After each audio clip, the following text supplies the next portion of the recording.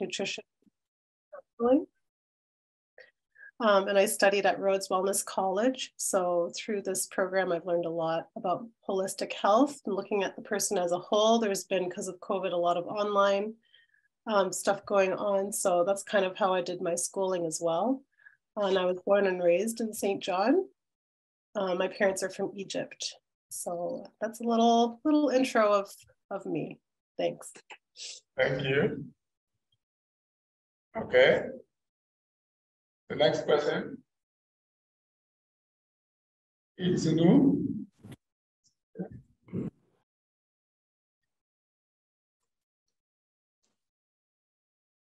Itunu, can you hear me? Okay, whoever is um, ready to introduce, please go ahead. The next person, please. Seems to me is not ready. Okay, go oh. ahead. Hi, um, so my name is Titilope Musuru. Um, I live in Moncton, um, New Brunswick, but I'm originally from Nigeria. Um, I moved, I think I, migra- I migrated in 2016 and I currently work for TD Bank. Um, little fun fact about me. Um, I just like, I like to read. Um, and that's all I do, read and sleep. So that's me. Okay, thank you. Next person. We don't have any direct order, please. Any other person that is ready? Okay, um, my name is Sasha James. I am living in Moncton, New Brunswick also. Um, I am a trauma specialist, I'm a counselor, a therapist. I work online and um, I help individuals who've experienced uh, workplace trauma, um, life trauma, and I also do addictions counseling. So happy to be here. Thank you. Mm. Next person. I should go next. Hi, good to see you and nice to meet you, everyone. My name is Carla Marti Corina. I am working from St. John. I am a newcomer originally from El Salvador, uh, and uh, currently I have a role as community coordinator at Civitech St. John, which is a special project of the Human Development Council. So thanks for, for organizing this and uh, pleasure to meet you all. Thank you. Is anyone left? Who else? Hi, everyone. I just joined. Yes, hi. Um, my name is Georgine. Um, I'm in St. John's, Newfoundland. Um, I'm international student advisor. Um, I support international students and their families um, here on campus. Um, I work at Memorial University of Newfoundland and Labrador. in addition, I'm also a certified Canadian counselor. so I offer supportive counseling to our students and their spouses as well. Thank you. Thanks. Very good to have you. Thank you. Um, I guess I can go next. My name yes. is uh, Nanai Belanger. I am an international immigration um, advisor also at Memorial University of Newfoundland and Labrador, but I currently live in Riverview, New Brunswick, so I'm a virtual employee. And my job at the institution is to work with um, our, our, international students and their families and support all of their immigration and transition needs when they come to Canada. Thank you so much for coming. Okay, next person.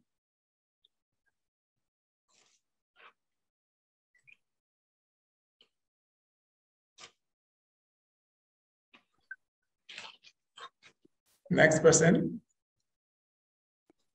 Hi, everyone. Um, I guess I will go, I, I missed a little the beginning part, but I'm Lydia Sequeira, uh, and I'm here, um, I think I'll be speaking in a couple moments, so it's lovely to hear all of you um, and meet you all. And I'm based in uh, Toronto. I work at Infoway and uh, the Center for Addiction and Mental Health, and I'm a researcher. Thank you. So is there any other one left that is yet to introduce myself? Please, if you are yet to do that, you can just introduce yourself.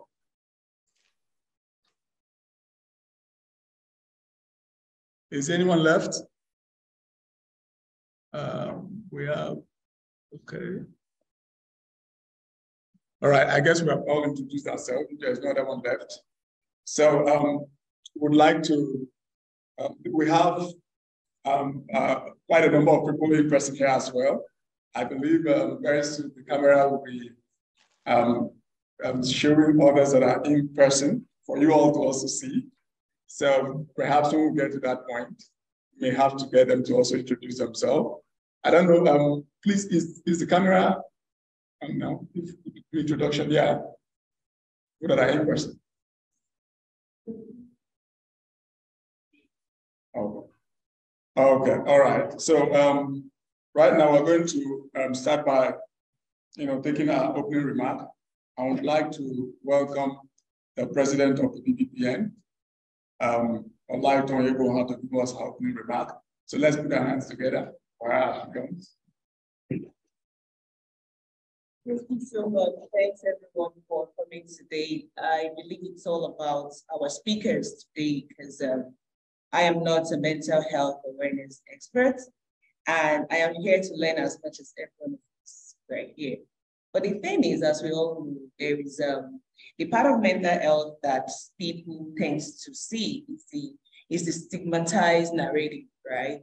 So we want to start talking about how we can, you know, um, use the digital health space wisely, since this is a, a digital health week uh, celebration we want to understand the link between uh, digital health support, how it has impacted positively, you know, in changing the narratives, in supporting, you know, people who need care, people who need that access to information, not necessarily care in the, in the grand scheme of things.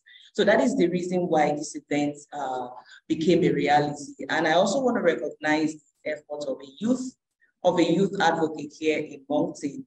She was actually the idea and the brain behind this project and that's Ibtiaj. I got talking to this mentee some two years ago, and um, there was a project that she was working on, and it kind of surprised me, and not really surprised me, kind of encouraged me to say, if youth in this era are already looking at you know, the aspects of mental health, and they are really taking it, you know, seriously within the scope or within the confine of their environment, trying to just do things that um, the community sees as worthy I felt like, okay, if our youth are doing this, we should be able to uh, to take this seriously because the youth are the next generation.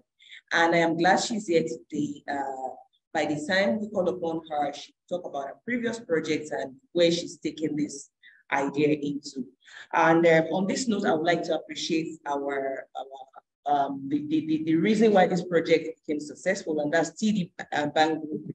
TD actually saw something in what we're doing, and this is in alignment with their uh, corporate social responsibility on local needs. So we see that uh, mental health is no respecter of person, and this is also in alignment with uh, what TD Bank Group is, is, supporting in all communities. And I'm also glad that we have a representative of TD in our own uh, in our own capacity today as a professional, talking about you know how working with TD Bank has been like in terms of also how a contribution to the community has been for her. So um, thank you, everyone. We also want to appreciate the Canada Health Infoway, uh, Professor Lydia Sequeira, for you know coming through um, virtually all the way from University of Toronto. We say thank you. We look forward to all the presentations from Dr. Sunday Apanta, from uh, Pure Gold Foundation, and everybody that's you know have one way or the other contributed to this uh, event. So we hope that we make things easy through interaction virtually and um, in person. Thanks everyone again for coming and we hope to have a good time. Thank you. Thank you so much, um, Lighton, for that um, welcome speech. We appreciate that so much. And she has given us a, a little bit of what we're going to be expecting here today from this program. Now, um, we're going to be um, inviting our, shortly we'll inviting our first speaker for today. But before we do that, I would like to just say a little, a little bit about um, what we're really doing here today. Mental health is, becoming um, an increasing issue, especially among the youth and um, um, even the, the, the, elderly, the workspace everywhere. And um, it's, it's an issue because it's affecting not just the individual, it's affecting the workspace. It's affecting even our families. It's affecting everyone that is connected to us because if someone is suffering from mental health and the person is connected to you, you're not going to be happy. So it affects productivity. It affects the, the, the nation, you know. So that is why we're not really not going to take it lightly. And um, this event is looking at creating that awareness. You know, it, it's not just about for the person that is suffering mental health to, you know, look for a way to come out of it, but also for us, how do we treat these people? Because they feel stigmatized a lot of times. And you know, when someone is feeling stigmatized because of mental health, then recovery becomes more difficult. So um, these are issues that we really need to look at, and um, it's it's going to be a two-way thing for the person suffering mental health and for you that is out there that knows that someone is suffering from mental health. What actions are you going to take? So these are a lot of things we're going to be learning today. And um, to, to take us further, I would like to welcome our first speaker for today. And um, she will be talking on, um,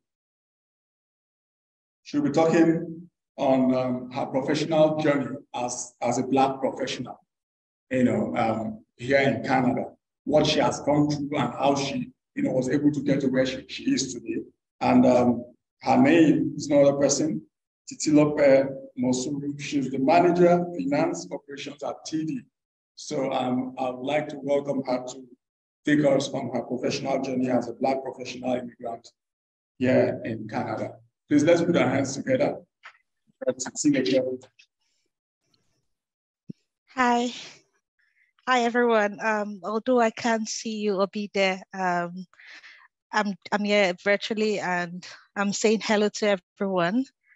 Um, so I'll talk a little bit about my professional experience in Canada, um, and I'll just talk a little bit about my adventures, my adventure in learning, growth, and how TD has supported me in whatever community event I want to be involved in. So I migrated, as I mentioned earlier, um, I migrated, can everyone hear me? Okay. So I migrated to Canada back in 2016 and um, I came to study in UNB St. John, Canada. Um, upon completion of my MBA program in 2017, the ultimate question begins, you need to find a job. Um, at that time, I kind of said to myself, okay, I'm new in this country, but I don't want to be in a job that I'm not happy with. So I set out to look for specific jobs that were tailored to my skills. Um, so I started my career in St. John, um, a company called CGS at that time, 2017.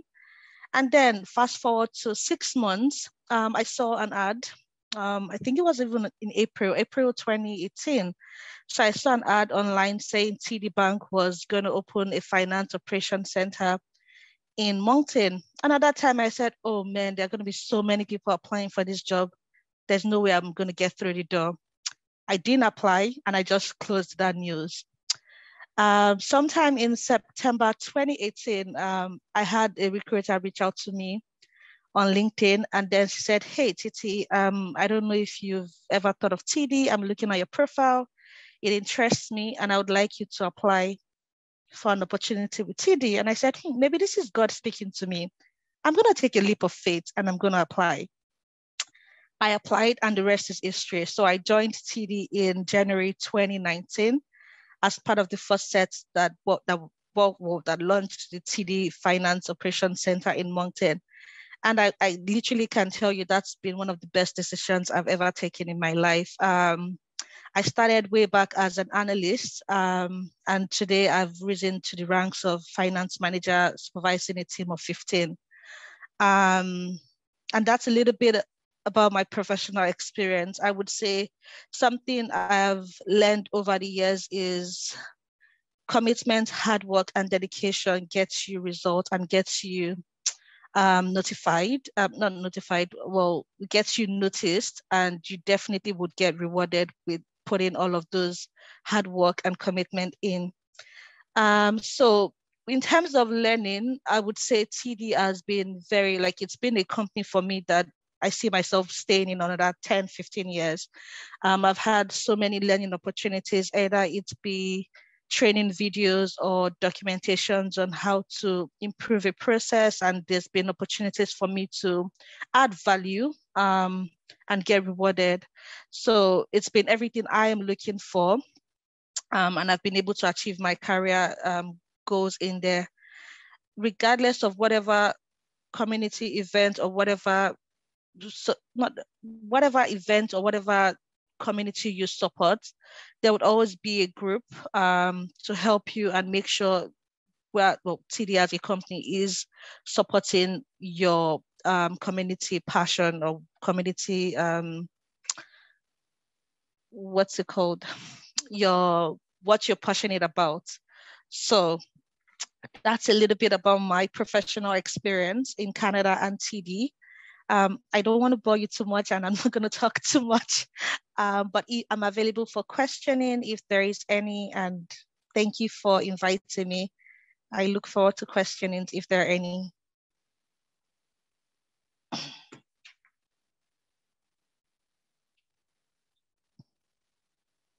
Oh, I think you're on mute. I cannot hear you. Thank you so much, Titi. We're, we're happy and glad to hear your story. And I believe uh, it's, it has encouraged someone here. You know, so thank you so much. Please let's put our hands together. Yeah. have a question? If you have a question, I think um, you have an opportunity to ask her. Is there any question? People online, if you also have a question online, you could just go ahead. No question. So um, we're going to be going to the next. Okay, okay, we have a question online. Yes. Hi there. Um, it's uh, Danae Belanger again. Um, I have a question for you. So a lot of the work that I do is working with um, young adults, so so uh, new graduates who are entering the workforce. And a lot of the things that I hear from them is the uh, almost emotional baggage and emotional challenge they have in entering the workforce, especially as people of color and especially if they are Black. And I want to know from you um, what you found helped you to get into um, well to get out there into the workforce and some of the challenges that you had to overcome as a black professional working in canada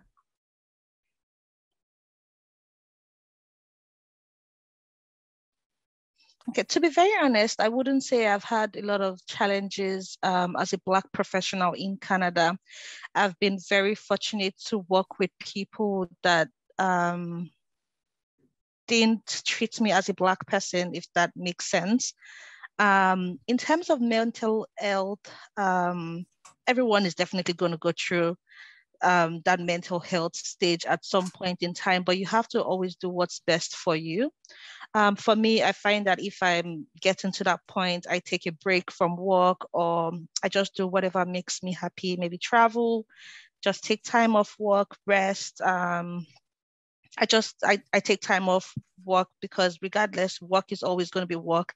If you drop dead today, someone is going to pick your job tomorrow. So what I've always said to myself is you have to always put yourself first, regardless of what the situation is. And I've been very blessed to work with organizations that also put that or take that as a priority. So I wouldn't say I've encountered a lot of challenges as a Black person in terms of getting into the workforce or maybe being treated in a certain way. I've just been very fortunate. Did I answer your question? Yes, thank you okay. so much for your perspective. You're welcome. Thank you so much. Uh, please, do we still have another question? Online, in person?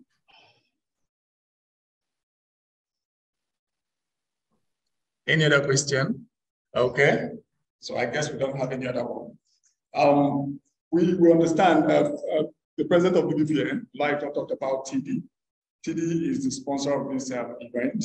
So um, along the line, as we go on with this program, from time to time, we're still going to be talking about how TD has really been helping, especially newcomers, to settle here in Canada.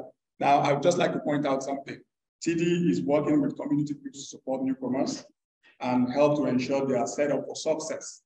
You know, we know that supporting these programs can help newcomers feel adjusted, just like what we're having now. You know, um, if you're new in Canada and you're getting in to know about some of these events, it can help you to settle down here in Canada. So it helps to get them well adjusted and integrated into their local communities, which in turn helps them thrive and you know contribute to their communities as well and to be more resilient. So um, this um, this is a word from um, Tara Lynn, um, the Senior Vice President, Greater Ontario TD Bank. This is what um, the message that TD has for us today. So I would like us to understand that. And um, to take us further, um, we're going to the next um, presentation. The next presentation. And um, this next presentation will be looking at a topic, how digital health can help transform or create a better experience in mental health awareness, prevention, and care. So, and uh, the person that will be taking us in this uh, topic is Dr. Lydia Sequeira, and she's a postdoc. She's a postdoc fellow at Canada Health Infoway and the Center for Addiction and Mental Health. She's someone that is specialized in this uh, um, field, so she has she's coming with a lot of knowledge, you know, to help us understand um, issues around mental health. So I would like us to welcome Dr. Lydia Sequeira. Please let's put our hands together. It's on. Hi, everyone. Thank you so much for having me. And I'm so excited to be here um, and talk a little bit about uh, digital mental health. That's my passion.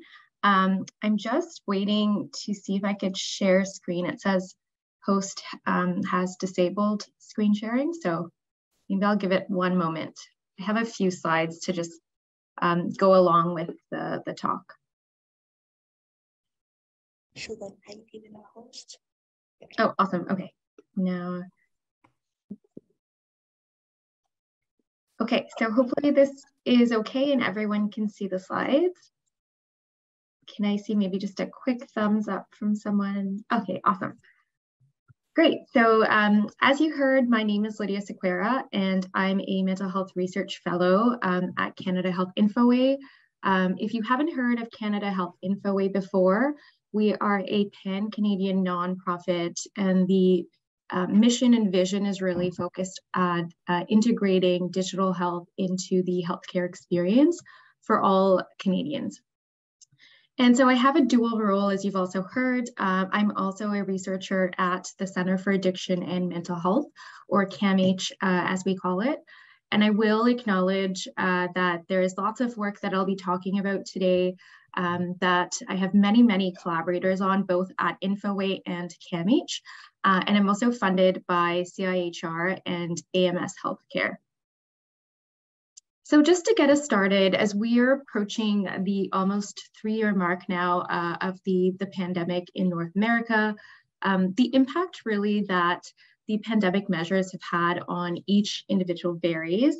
Uh, however, some of the specific measures that were put in place um, to kind of slow this virus spread um, has really had changes to our workplace environments, you know, schooling, closures in childcare uh, and childcare facilities, um, social and physical distancing measures, and all kind of leading to burnout, fatigue, and lots of uncertainty. And all of these uh, issues have inadvertently caused an echo pandemic of declining mental health. So we've seen rises in anxiety, depression, and other mental health conditions. And uh, there was a pan Canadian survey that was conducted much earlier this year by CAMH, and it's kind of updated on a regular basis. Um, and these are some of the numbers that came out of that survey. So, you know, 25% experience uh, moderate to severe anxiety, and this is for uh, a, large uh, population or sample of Canadians. Uh, 25 reported in engaging um, in binge drinking in the past seven days since the survey was done. Uh, there was loneliness and there was depression as well. So this survey data really kind of highlights um, you know, where some of the challenges are currently and what the challenges that were brought about by the COVID-19 pandemic really, really have affected.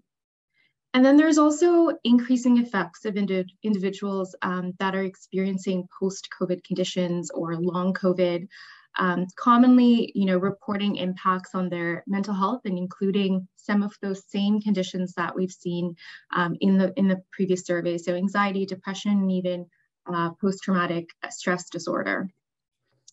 And so where are people supposed to access care or what does this continuum of mental health care delivery really look like?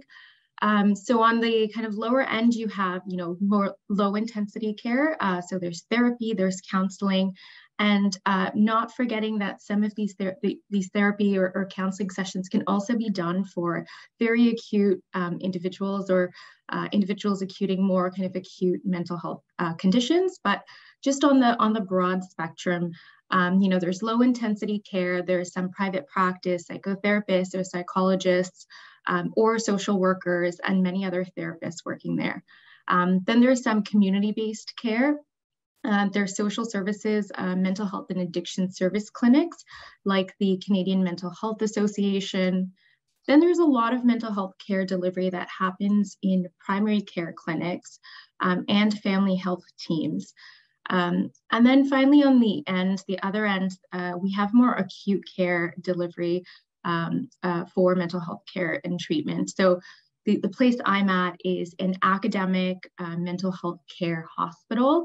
So essentially everything, all care and all delivery there is focused on mental health. Um, our emergency department is a mental health emergency department, but there's lots of uh, mental health care delivery just done in, you know, a variety of emergency departments across Canada as well.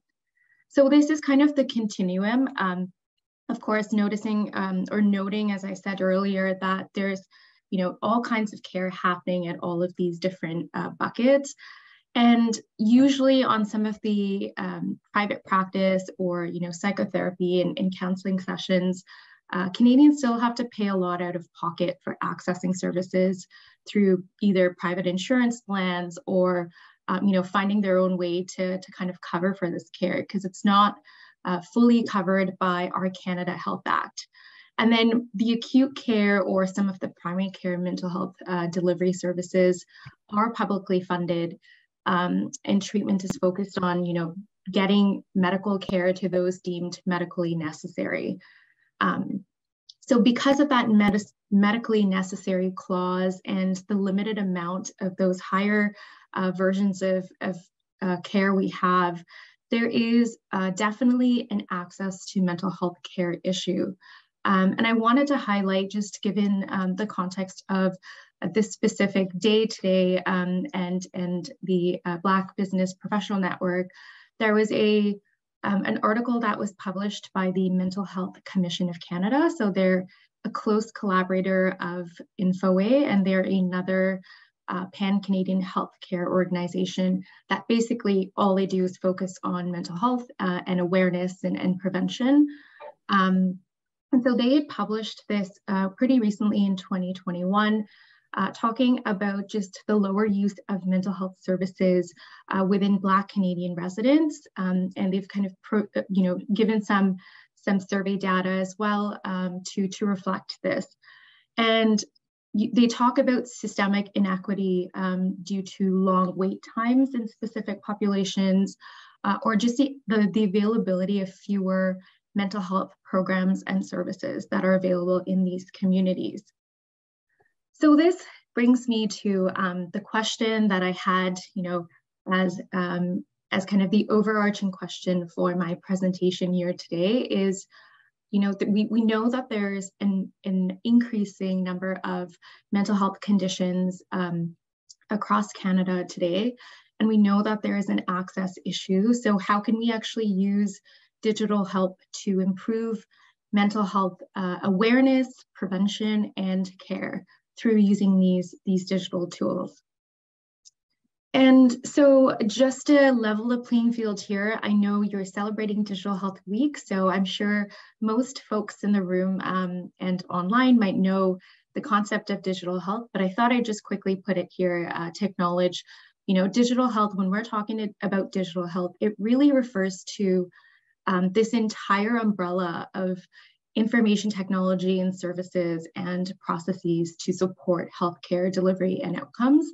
Um, and here on the right, you can see, um, I like this visual and it's, I think it's kind of um, in the last year published sometime in the last year, uh, but they talk about just the variety of applications and, and types of technologies that fall within digital health. So digital health can really include anything from electronic health records. So when you go into your mental health care provider um, and they're taking notes, um, those clinical notes then become part of your electronic health record. So that can be consist, uh, considered um, digital health. So that technology, um, anything from mobile apps, and that's what I uh, do a lot of work in. Um, how can we kind of use mobile apps to support care or to support treatment? Um, and you can see here, there's a plethora of other, you know, everything from personal health uh, devices to even just telemedicine. So things offered virtually all kind of fall under this bucket uh, of digital health. And when we think about digital mental health, um, which is the area I work in, um, or e-mental health, as you may have heard, this is really a branch of digital health. Um, and it's in place um, and it's growing uh, and getting more traction. Um, and this is a, a definition and a promise, I guess, from the Mental Health Commission of Canada that e-mental health is really, you know, hopefully if implemented well and used well and, and you know, made aware of, can deliver timely, effective mental health services by using some of these internet-based or related technologies. So what does a digital mental health landscape look like in Canada? Um, and we have a, I've kind of linked here, um, happy to share some of these links um, in the chat as well after. Um, but we had a, a pretty cool podcast, uh, podcast episode. Infoway does a, a, podcast called InfoCast, and they talk about every um, digital health, you know, challenge or, or concept out there. Um, and they did a, a podcast specifically on digital mental health and, and more specifically about mental health in your pocket. So using smartphones to improve mental health. Uh, so I've linked it there, but we kind of talked about this landscape uh, of digital mental health in that podcast. So, you know, when you're thinking about the, the plethora of ways that uh, mental health is delivered digitally, um, if a primary care office or a psychiatrist or specialty, specialty care has transitioned to virtual care offerings, uh, you know, maybe full time or maybe some some part of the time. That's considered digital mental health. Um, then there are tertiary facilities who have transitioned to virtual care like CAMH. A lot of care is also offered virtually now, or a lot of the group programs uh, or counseling programs are, are offered virtually. Um, then there are some community organizations um, such as the Canadian Mental Health Association that offer virtual services.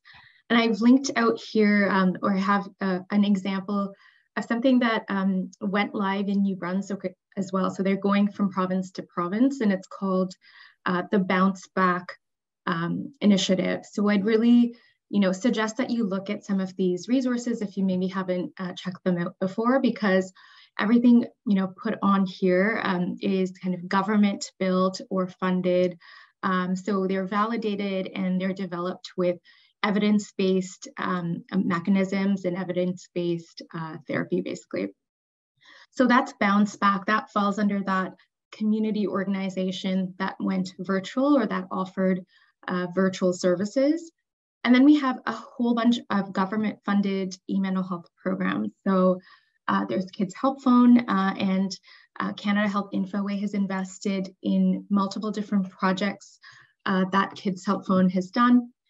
Um, there's Wellness Together Canada. So this is a huge joint kind of consortium between Stepped Care Canada um, and Kids Help Phone and a few other really big mental health players, specifically e-mental health players. Um, and so that's a portal that's free for everyone to use. Um, and you can kind of go in and depending on the type of care or the level of care that you need, you will be triaged uh, appropriately. Then we have Bridge the Gap, which is similar. Um, it's, it's similar to the, the Wellness Together kind of model, um, but I would really kind of suggest take a look and browse through and see what's out there in some of these different digital mental health um, tools um, that are available for everyone. And in Ontario here, we have something called Togetherall, and it's slowly spreading across to all Canadians. Most uh, uh students and universities actually have uh, a free kind of on, uh, a, free uh, login to Togetherall. So if you do, you know, you're part of a university, or if you're able to get this at this login, um, take that, take a look at that and, and check it out as well. Um, and then you have private e-mental health providers. So uh, if you've heard of BetterHelp or Inkblot therapy, um, these are kind of, you know, you pay per use or you pay uh, per session, uh, but they also kind of are very important in our digital mental health landscape. Um, and then there are a whole bunch of self-management tools uh, through apps or mobile apps or web apps um, that you can use to manage your digital mental health. And we'll talk about those in a, in a quick second. Um, so Infoway does a lot of, in, in addition to investing in e-mental health um, initiatives, we also do a lot of data collection and essentially serve as this rich data hub. Um, all of the data is available for everyone to kind of look at, and you can look at trends over the last many years, specifically around digital, digital health or digital mental health use, um, so this is some of our survey data from the last couple of years. We uh, survey individuals on their self-reported, so they're telling us uh, what they think about their mental health.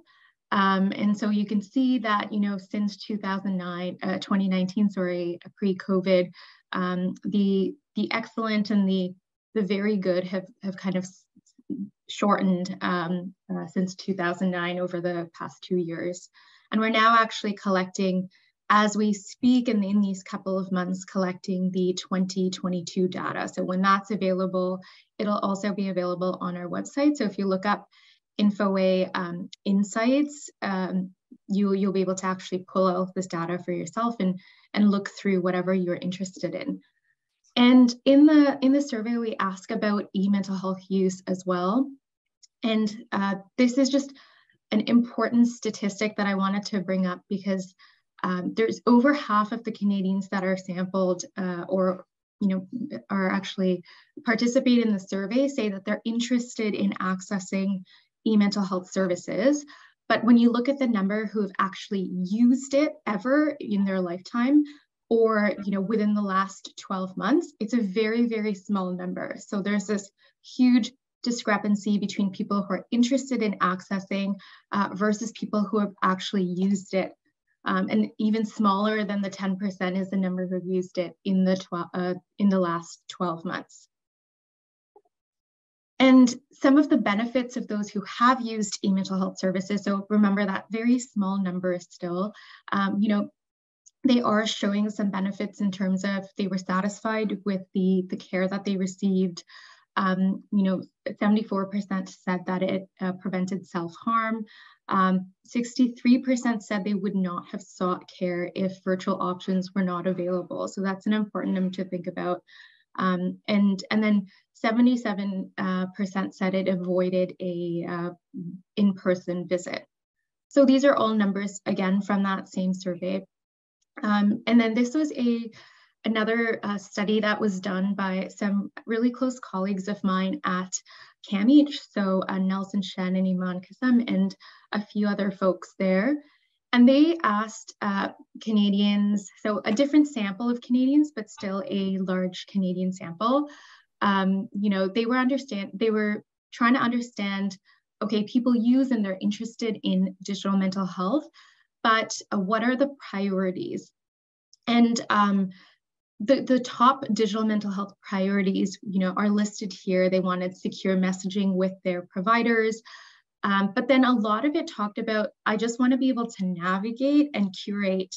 You know, there's so many different programs like I've just kind of highlighted in the in the previous few slides. How do I know what's right for me and how do I kind of do that evaluation uh, and how do I go about finding some of these? So this is kind of what nicely transitions to one of the projects that our team at CAMH um, had done over COVID um, and kind of focusing on, I'll talk a little bit about how we can use digital health to improve mental health awareness. Um, and then I'll talk about uh, mental health prevention and then mental health care. So in terms of awareness, uh, thinking about, you know, that survey statistic or, or priority of people wanting to actually have curation tools. Um, so this was a, a project that we had done in the very kind of beginning uh, part of COVID. It was a short six month project, but it's kind of stayed on. Um, and we really tried to synthesize and mobilize this knowledge related to all of the different interventions that were out there that could support the population with their mental health, uh, both during the, the pandemic early, early years and after. And this is um, you know, our slide that we had back then with very hopeful that we would one day come out of this, knowing that uh, now looking back, we're still very much in this pandemic. And so I've also linked here um, what our entire report contains. So it's much, we did a, a, literature review and we have some more results in there, but I wanted to just highlight and talk about uh, here today the, the literature search and uh, the environmental scan. So we were looking at, you know, where uh, in the literature or where um, in the gray literature, so Googling and, um, and other resources, both academic and non-academic, uh, and also looking at app stores and curated app libraries. So what are tools that we can use within Canada um, to actually support uh, mental health? Um, and this was because access to mental health care in the early pandemic and it's continued since then um, is challenging so your traditional you know it's hard to find a family doctor to then get a referral um, or most places that needed referrals had really long wait times um, so this was kind of looking at what else do we have currently um, that we can use to, to kind of get us by or get us through until we are able to meet with um, a, a, professional. Um, and some of these tools actually do connect you with a professional, so there's quite a wide variety. Um, this is where we, we got all of the information. So there were only two um, pieces or, or, technologies that we found from the academic literature. We found a lot of really cool um, research that was going on, but either that the, the tool was still in development or the, the tool was only in development uh, or only in use by people within a specific research study. So it wasn't really available to the entire population. Um, so there were two that came from there. Um, and then there were quite a few that came from looking at app stores and curated libraries. Uh, and then a lot more web-based or mobile app tools that we got from, uh, from our um, environmental or sorry, gray literature uh, scan. And then we asked professionals, we asked um, people with lived experience, you know, what are some of the tools that you've been using? Uh, and we also included some additional resources from there. So these are just the numbers of where we got all of these, these different tools from. Um, so we ended up with, um, I'm just gonna hit play here while I talk, but we ended up with uh, this database that uh, I will show you on the next slide where you can find it. So it's available for everyone to use. And because we, we did create it back in, um, in 2020, um, so we're hoping, you know, we haven't really gone back and redone some of the searches now, but we're hoping a lot of them are still relevant. Um, and we're able to, you're able to go into this database and kind of sort and filter by population. So if you're looking for youth versus adult, um, by area of Canada, um, you know, what's available in specific areas, um, by cost, so what the free app versus not. Um, there's web-based resources and there's also mobile app resources. So this is kind of answering that question to, you know, how can we better curate the variety of apps and uh, or programs that, that exist in the digital um, mental health space. Um, and you can kind of go in and click and, and, look through, you know, a ton of resources that are, are available on there. Um, and uh, sorry, and this is actually where you can um, access it. So if you just kind of type in digital COVID and mental health resource list, it's on our uh, CAMH website. Uh, but I'm once again happy to actually send you the, the direct links. Uh, I'm really realizing now that I should have had many QR codes, so it might be easier to uh, to scan through, but I, I'm happy to send in some of these links after as well. Um, and we really tried to, so there's two sort of libraries. One is for websites and then one is for, um, for mobile apps and resources. Um, and there's also, you can print out these lists if um, there are specific, you know, populations that you're supporting that don't have access to um, a tablet or, or smartphone or any sort of um, technology because there are within this list, you know, some of the things are phone based or, or telephone based. So they don't necessarily require a smartphone. Um, and you're able to actually look, look at that as well, uh, or look for which specific type um, of resource you're looking for. Um, and what we did when we were putting in, so like I said, there were two different um, libraries. One is the app-based library and one was the, the web-based. So for the apps, we actually used this, um, um, this database that I've linked out here, but also the American Psychiatric Association app evaluation framework.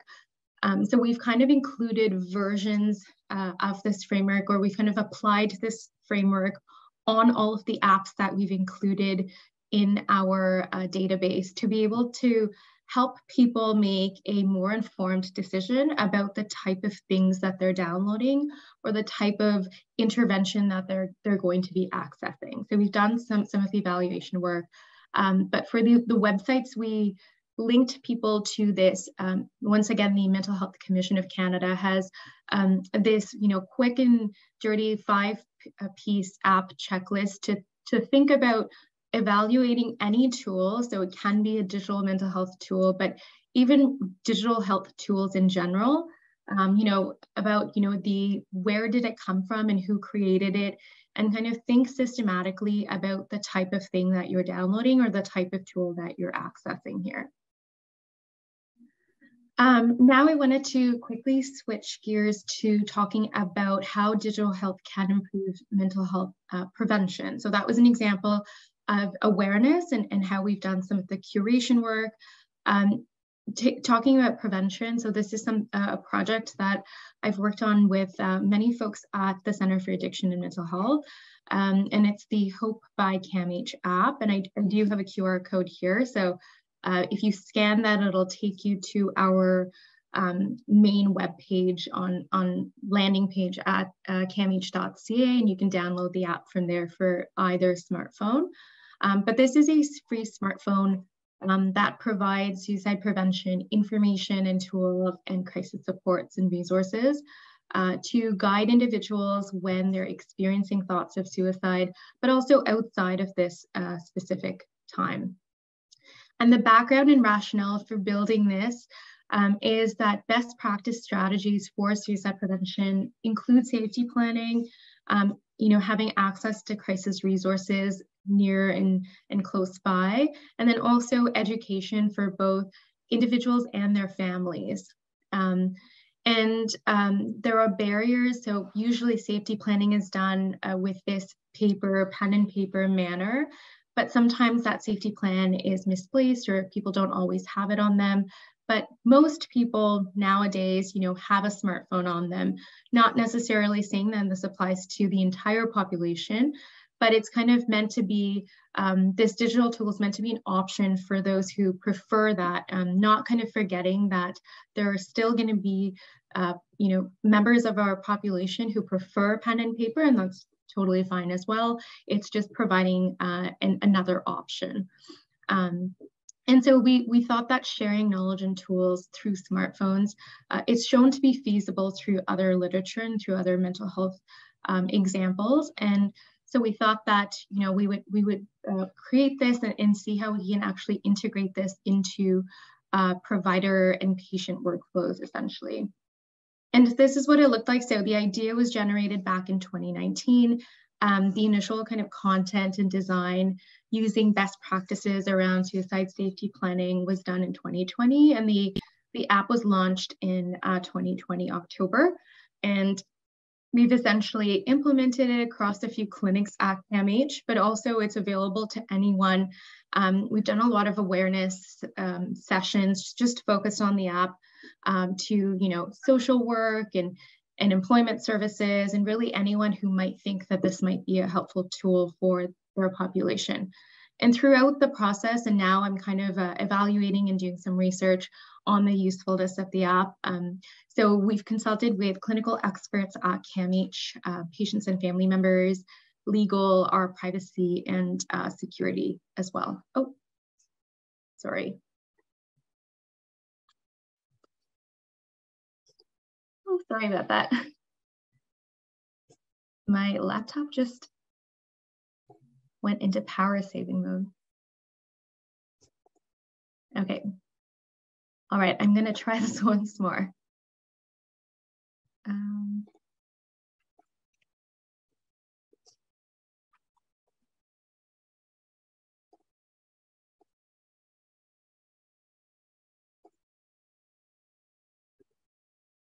okay, hopefully this works.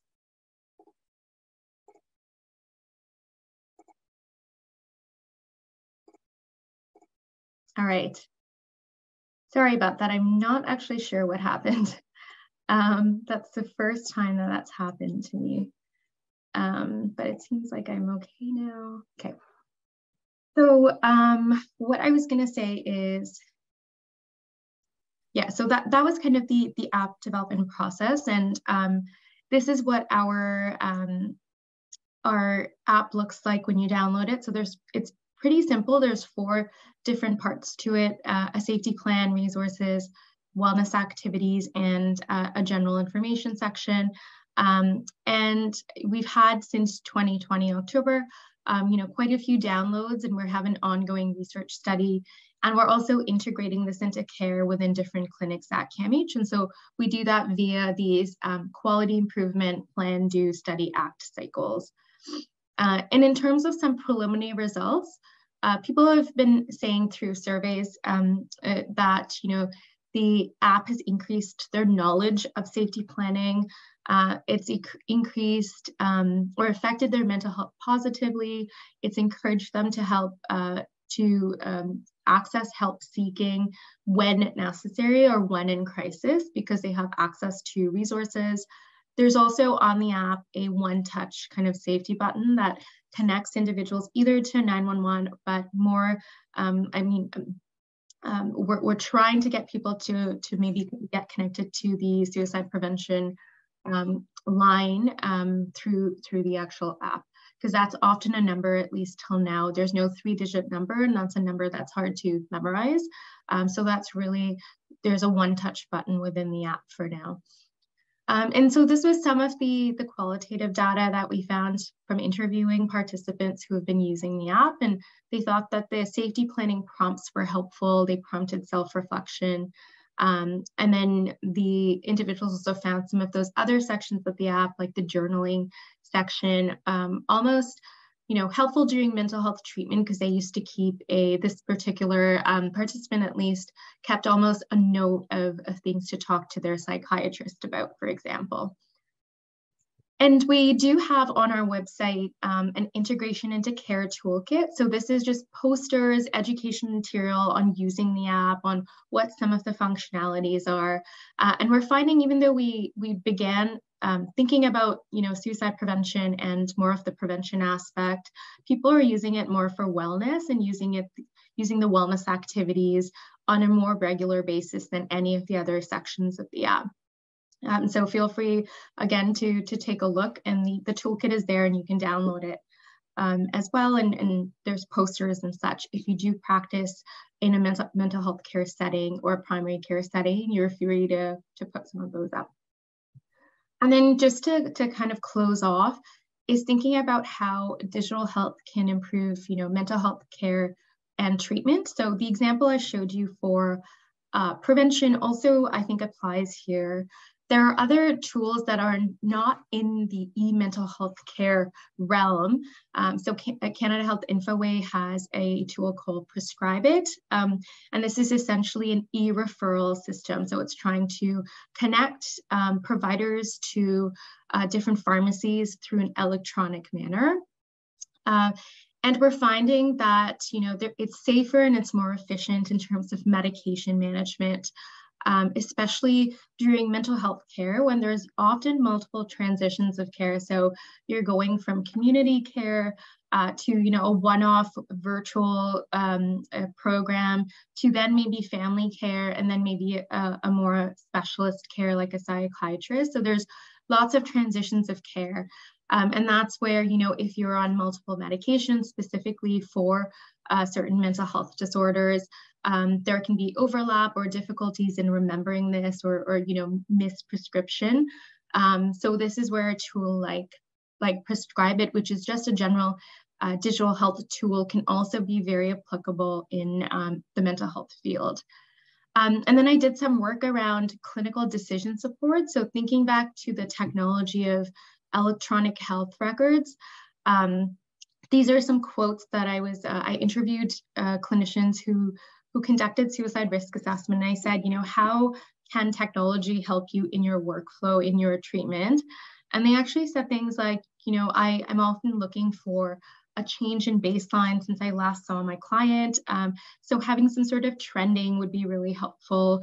Um, you know, another individual or another uh, provider said that there's just so many different documents to look through. And so if technology can actually do some sort of like searching um, and summarizing for me, that would be really helpful.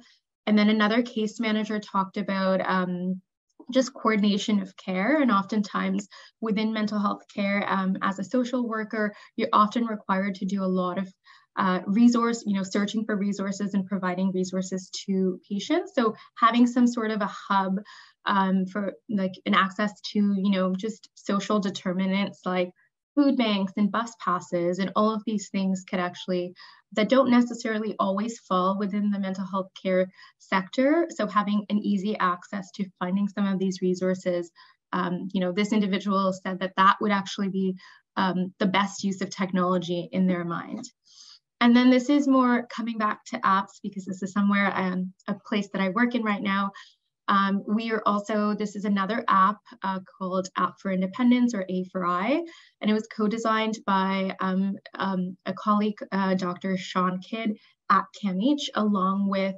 patients uh, and family members and a company called Memotext who actually developed this.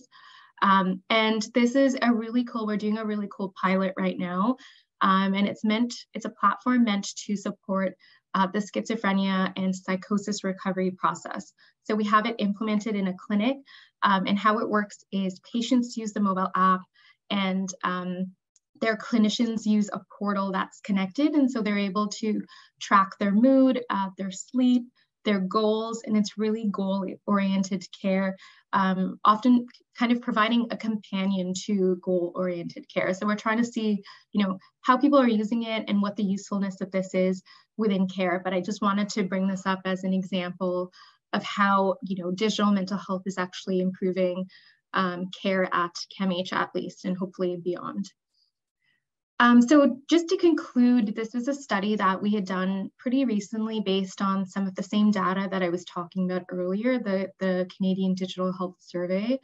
And we looked at, you know, who actually uses e-mental health from those very small 10% of people.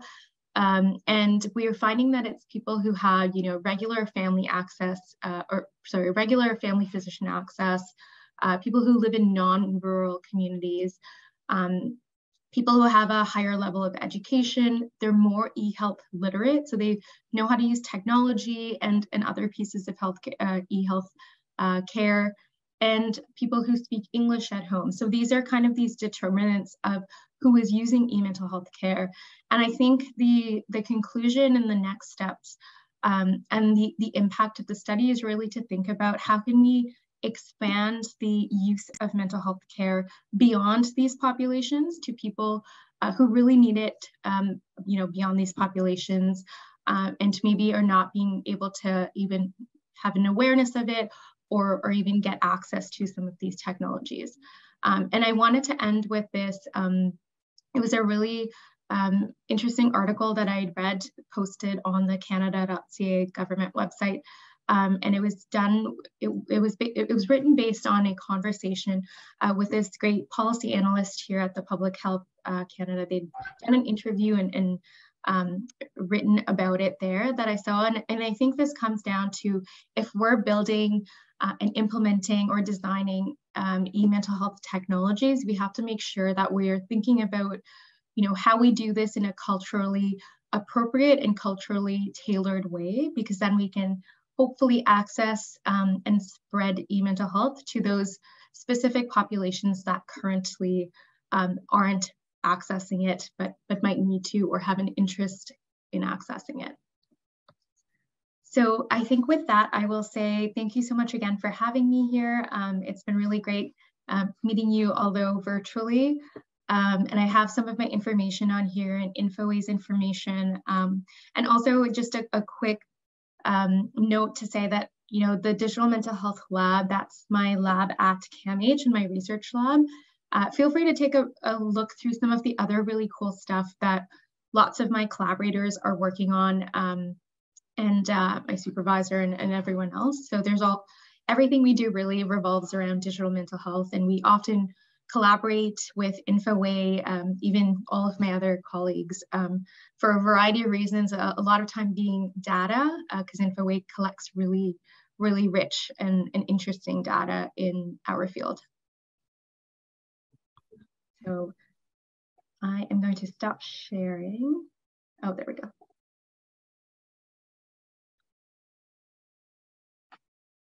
Awesome. Are there any questions or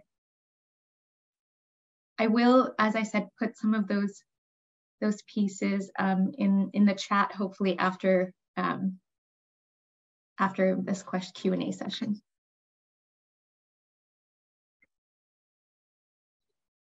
Yes, feel free.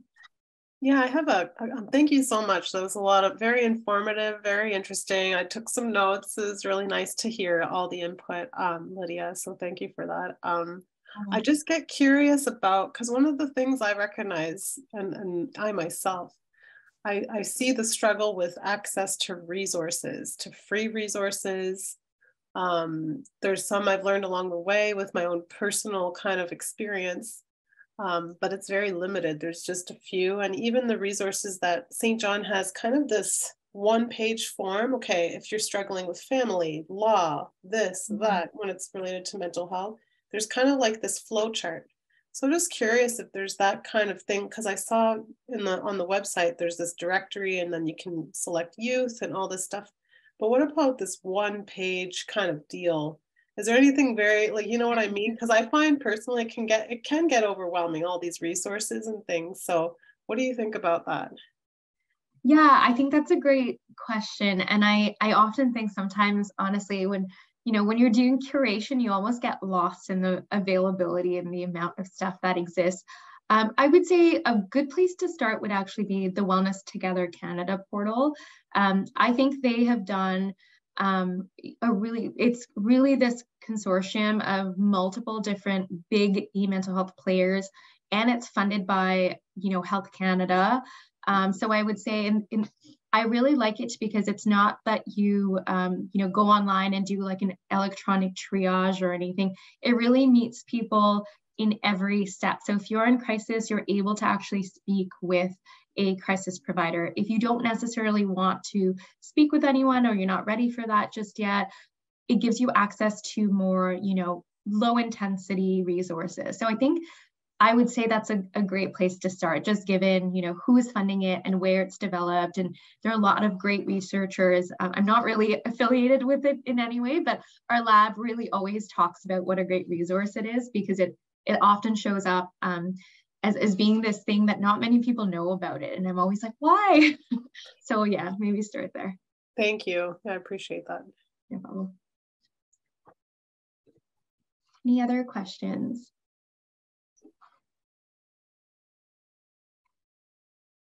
Good afternoon, everyone. Uh, do you still have any other questions for Vivian? I think there's some questions in the chat. You can have them or else comment in the chat box.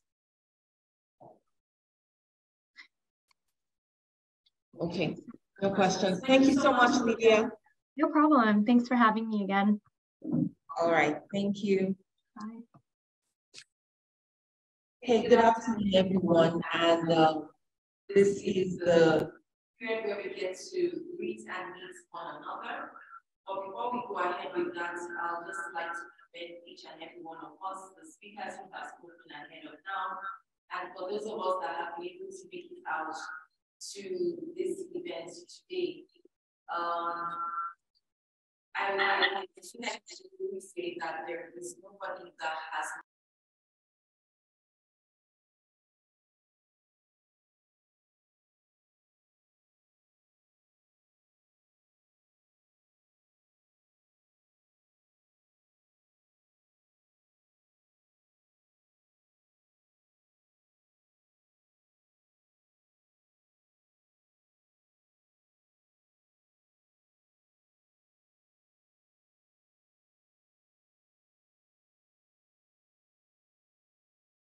rather not interact with one another. And we hope that we can break that barrier once we meet uh, one another. And we're not leaving out uh, those that are participating online as well. So if uh, you are online, you can put into the chat box, introduce yourself, uh, what do you do? Let people get to know, learn something about you. Might make some great connections this afternoon. So um, starting that, I'd like to introduce myself first of all. My name is Damilola Ajibade. I volunteer as one of the directors with the BBPN, and um, I currently work as a business navigator with Opportunities New Brunswick. Um, other things that I do on the side, I love photography, videography. I love to tell stories using still and uh, uh, moving photos. Um, I'm a wife and a mom of two very cute boys. Uh, what else? Yeah, I just shared some things about myself. So I know that we have some speakers in the room. And for those of us that are here, um, I want us to make it a little fun. So we're going to have to identify who the speakers in this room are. Go get to learn something about them. We'll introduce ourselves to them. And then afterwards, we're going to have all the speakers come to this uh, table, this table or this, okay, to the table right on my left hand side here. Um, and before we start, there's also somebody that I think it's important that mean, recognize. I do recognize every person that is here in this room. We appreciate you for coming. Something that we usually don't do um, often is giving ourselves a pat on the back. And that's actually one way that we can improve our mental health, actually commending ourselves. So first of all, I, I recognize us all, including those online. Let's give ourselves a pat on the back for being here. Um, let's tell ourselves our mental health matters and it's important that we're here. Every person that has uh, made it out here today has also made a big statement to tell us how important it is for us to be here. We also have today in our midst Erica Cantu, who is the local immigration partnership manager for the city of Moncton. And we'll also like to welcome you, Erica. And uh, just, yes, yes. and uh, just once we're done with the uh, meet and greet, I'll also like to have that the speakers and Erica, please make their way to um, the lovely seat that has been uh, set out here for us. So let's get to meet one another. Let's get to learn five different things about each person that is here in the room. We're going to make great connections. And for those online, share something, some fun facts about yourself. Let's make some connections online.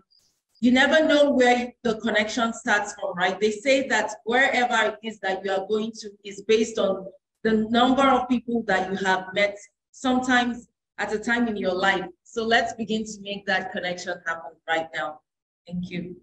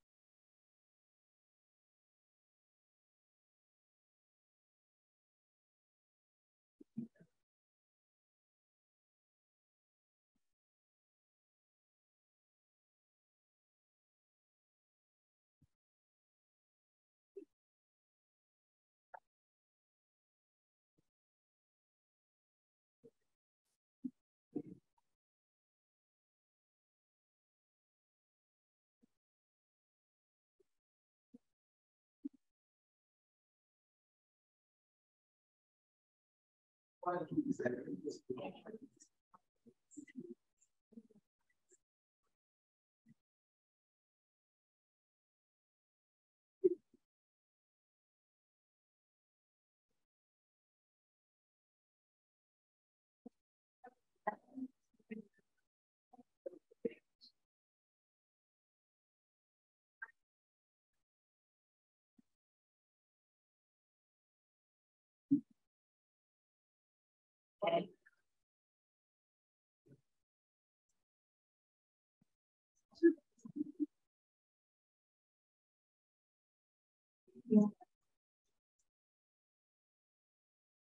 Okay. Wow.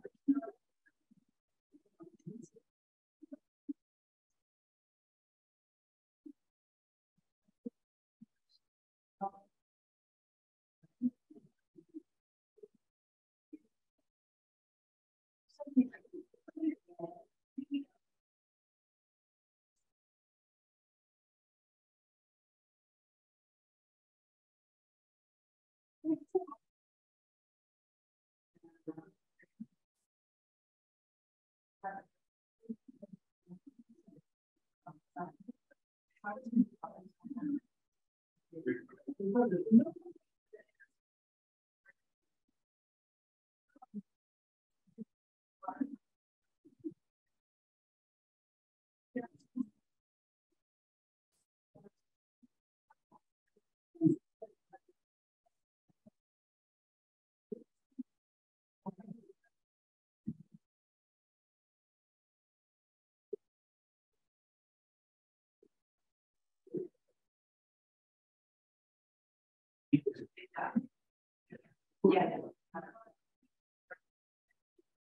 Hey, I think we've used up our time. Sorry, I did not announce earlier that we had about five minutes to do this. So I believe we've um, been able to interact and for those online as well, have been able to make some really great connections. So um, did anyone identify the speakers that we have in here today? yes, well, we'll, we'll give you a, a, a clap, a, a big hand. yes, please, can you uh, help us?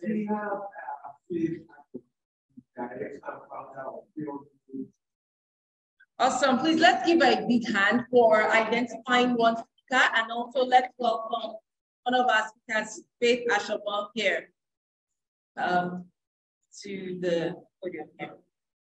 You're welcome. We're not, please, it's part of it's a mental health event. Let's encourage her.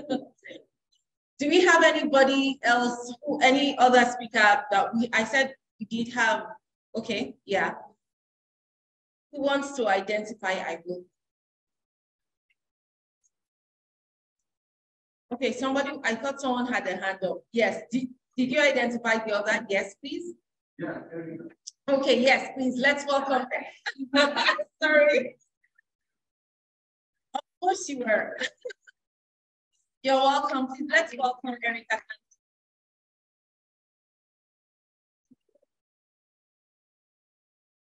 Okay, we have we have one um, we actually have two other people. I'll introduce the other, the fourth person. But we have a third person here who's supposed to be speaking this afternoon. Did we identify her? Okay, yes, please. We, we need to get a ticket for you today. and uh, she's keeping her ready to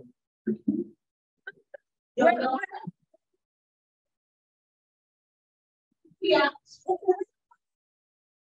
Okay, well, what's in, let, let's divide that. We also welcome Oyilola Yahaya. Let's give her a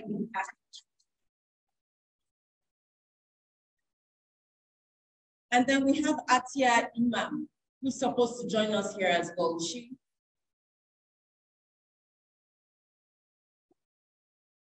I think. All right. Okay. Um, while we have we have all our speakers here at the um, table here, I want to ask that everybody else moves closer to the front so that when it's easier that we're taking shots, we can capture everybody all in one place. So can we have that? That just helps us, um, it helps us uh, interact better, you know, and then we can continue the conversations in between. So if I can have everybody or most people move on to this table right on my um, left-hand side here, that would be nice. All right. Okay. Thank you, and um, I'll pass it over to Nina. Thank you.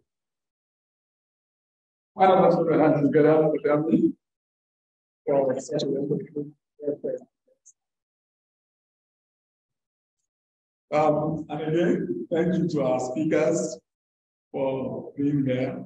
I, am sure you are comfortable where you're sitting right now. Thank you so much. Um, so take us for that. Um, the next item we have today, we've talked about um, um, the um, presentation that was made by Lydia Sequeira. It was a wonderful presentation.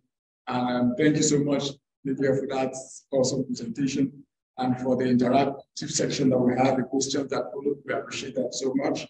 And I believe we have all learned a lot from the discussion. Um, next, we'll be inviting Oyilola Oluwashem for a presentation on financial literacy. So um, Oluwashem is a financial advisor with the World Financial Group. So um, put your hands together. Thank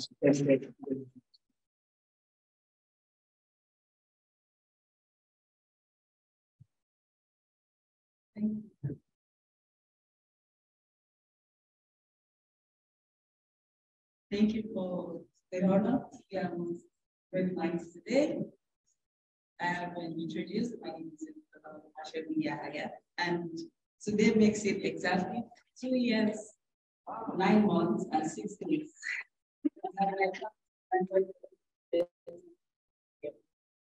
And I will say it's it's been a journey Barely two weeks after we landed, the pandemic struck and everywhere in the world was shut down. But we had to keep navigating.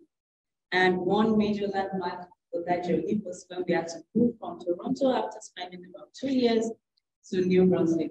And I must say that we like it here already. I'm happily married to a husband who is a medical doctor Thankfully, he's just completed his round of licensing exams, ready to take on the new opportunities that lies in the Canadian medical world. We are blessed with two amazing children. Odeso Yokua is in the house today. Can you say hello to her? And Oyoso Yokua is three years. Nine to five, I am your tech lady. I work with the tech company as a senior system. Outside of work hours, I'm doing weekends I've been educating my community on how to be financial literate. And then my husband and I co-founded an African market recently, so you can also find me attending to her clients. So enough about me today. We'll go straight into our topic. how digital financial awareness can improve mental health. And as an introduction, I would like to say that two topics impact every one of us, whether we're interested in it or not. And that is our health and our wealth. And it is no news that the health and the financial industries are among the highest paying industries in the world. And then being financially free, being financially literate does not have so much to do about how much you earn, but your knowledge of financial world. And then there are some mental and mental health and money statistics, and I find a good number of them very concerning because about half of Canadians report that money is a daily concern. One out of three Canadians are one month or less from financial crisis. We are just barely getting by. And the big four stresses, they have relationship, work, health, and financial stress. Did you know that financial stress tops that list and outweighs the other stresses? And according to Sun Life Canadian Health Index, it affects at least half of Canadians with no preference to your income or your age groups. And what are the impacts of um, financial stress? When we consider mental health and our financial health, they are closely related. What keeps us awake at night? Either your health or your wealth. And in times of heightened unemployment, in times of financial strain to the economy, people that are already living with mental health issues can dive more into challenges and sicknesses. And then we start having feelings of anger, of blame, unhealthy work environments, people suffering from heart disease, from high blood pressure, sleep issue, headaches, and the likes. And what are the sources of all of this financial stress? Some people will say Bank of Canada, for one. We've had so many interest rates increase in the last few months, just this year alone. And it doesn't affect only our mortgage. I people say, oh, thankfully I got a fixed mortgage rate and I'm kind of, but no, how about your personal loans? How about your lines of credit, your student loan? The credit card bill that you don't pay for things, all of these are affected by the income. And then as we are trying to survive and navigate this uncertain time, our finances are becoming thinner by the day. And once any little thing should happen, say maybe you need to take time off to care for a loved one, sick or a temporary separation, anything, mental issues can begin to arise. And then how do we get equipped with the needed financial information? The world has gone digital. And when you are not healthy, you go to the doctors to get treated. So when your finance is not healthy, what should you do? Professional help. So certified financial educations, such as myself, are taking the social media to communicate to people. Find on the streets of Instagram, TikTok, YouTube, just name it. People like me educating the community about how to be financially literate. We organize free seminars, we have webinars, ton of online resources, and there are mobile applications that you can get on your devices that can help you to budget, shop smart, and to price match. And then how do you become financially free? I want us to picture a building and thankfully in Canada, we see how very deep the foundations of buildings go into the soil. And for us to be able to withstand the storms, all of the uncertainties that come with life, we need to actually build a very solid financial foundation. You can see on the screen here at the bottom of that building is protection. And why is it protection? Because without light, or without adequate provision, all of the other things would no longer exist. And when I say protection, I'm talking about your life insurance, critical illness insurance, disability, anything that can replace your income should you be out of the picture. And after you've done that, you manage your debts.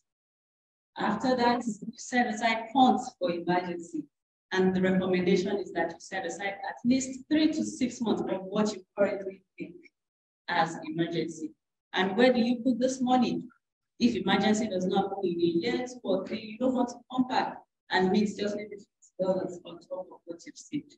The recommendation is to use a tax sheltered account for your goods and uh, tax-free savings account comes in and for that.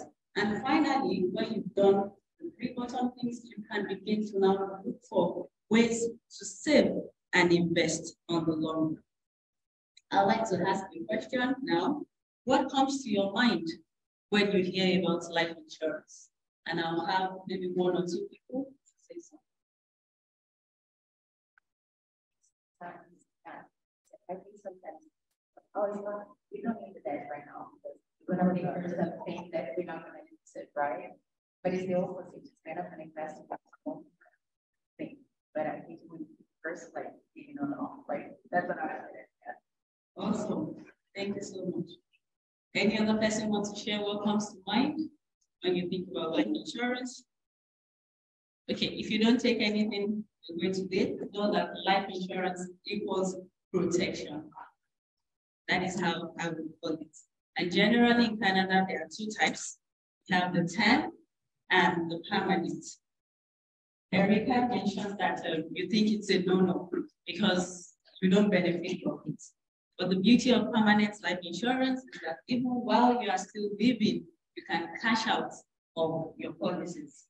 And for temporary, it's maybe 10 years, 20 or 30. But permanent covers you for essentially the rest of your life married. And then another beauty is that your investment continues to grow tax sheltered. And when you get out your benefits, you use it for whatever you like, for retirement plans, or whatever purpose, and this money comes to you tax-free and doesn't affect your earnings even at retirement because the government does not count that as your income. And what are the factors that you think can contribute to your insurance premium? Some people will say, oh, it's very expensive. You go to no, but you can go to Tim Hortons, if you can go to KFC, McDonald's, you have Amazon Prime, Netflix, and all the rest of things you can absolutely afford life insurance.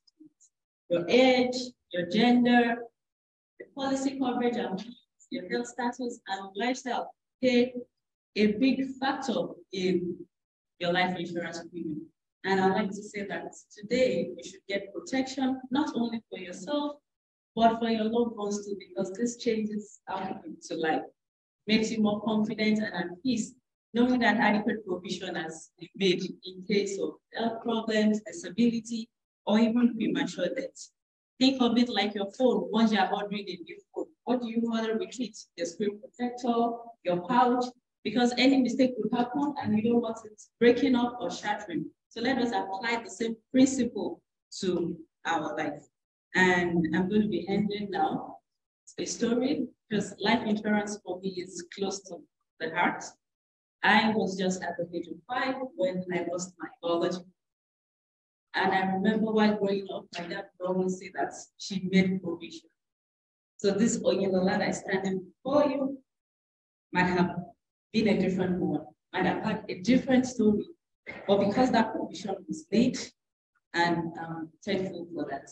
So I'd like to ask today that, especially my audience, the parents and children, they have dreams, they have goals, they have aspirations, and you confidently say that these goals, these dreams are going to be fulfilled without financial or mental health issues if anything should happen to you. Thank you very much.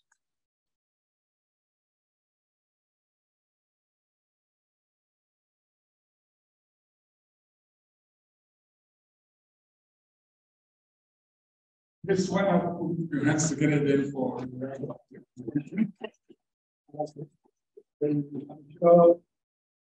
questions. This is financials. so please um, uh, goes online. If you have a question, let's let's start with the online. Um, please, if you have a question, just, just type in. I think you have some comments. I'm.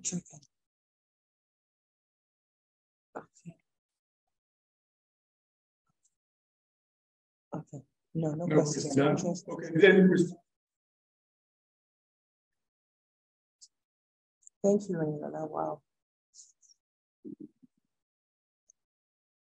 So do we have any question in-house?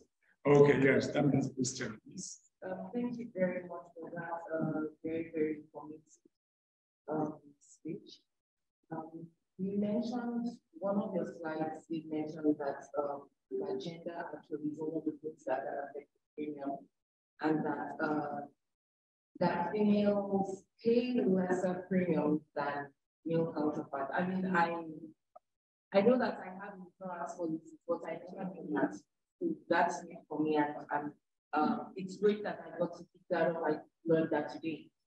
So my question is that um, if, if this is the case, if it is the case that they pay lesser premium, does it mean that their contribution towards their insurance, um, that they also get less of that, or does it amount to equal?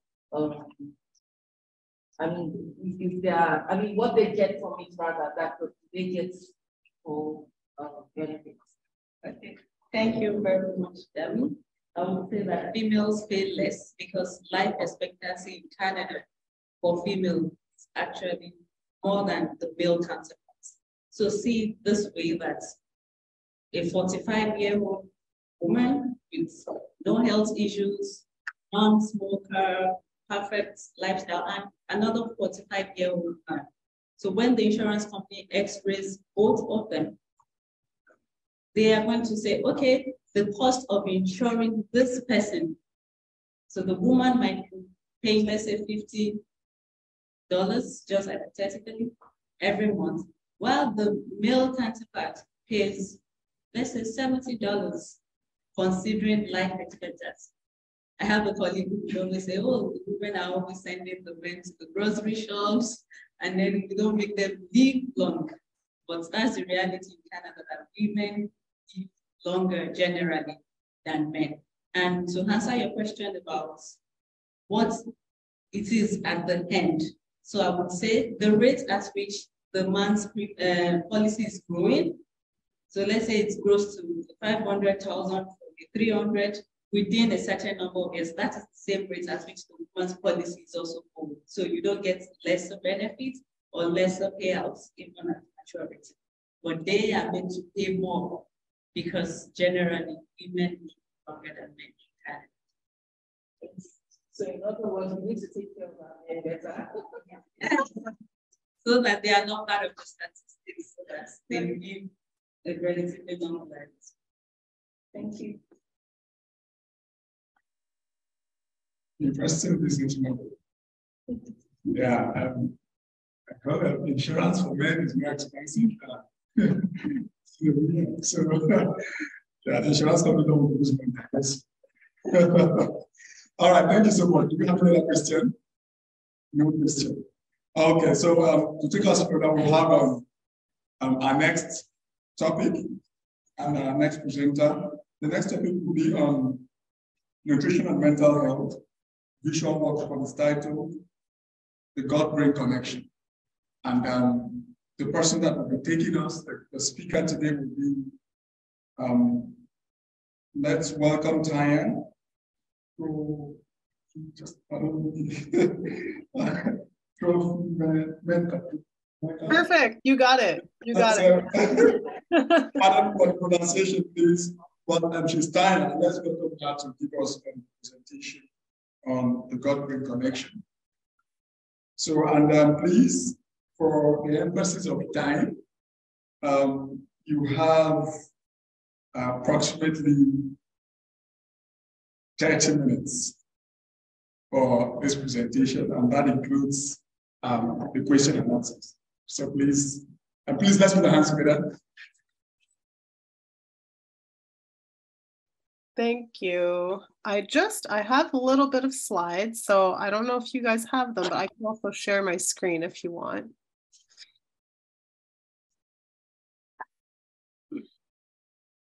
So just let me know if you have the slides there. I'll just wait to see it up there.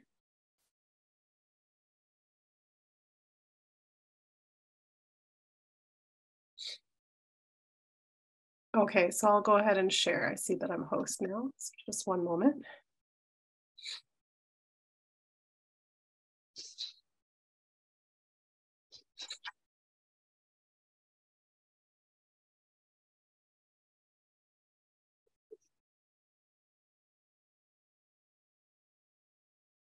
Okay.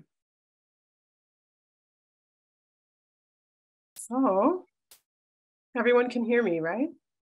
Yeah. Okay, great. So in the title that was presented, um, it was, oh, let me just see. You can all see my slide? No. No? Okay, just one second here. Let me know if you could see my, oh, it said host disabled participant screen sharing. Okay, I got it back. I see I'm host now. Okay, just one second. Okay, now we're good, yeah? Okay, I'm gonna assume it's all good. I didn't hear anything otherwise. Okay, great, thank you. So my name is Tanya Trefamenkoff. You did a great job saying my name. It's all good. It's a, a lot of people struggle with it. It's fine.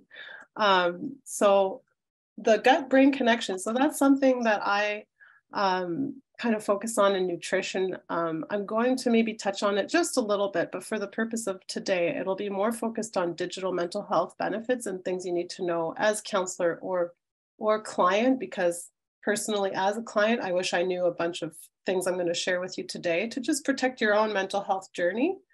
Um, so I'm a holistic nutrition counselor and owner of DNC Wellness, and that was founded in 2021. Um, and you can find me at dncwellness.com, where you can see my email, send me any questions, reach out.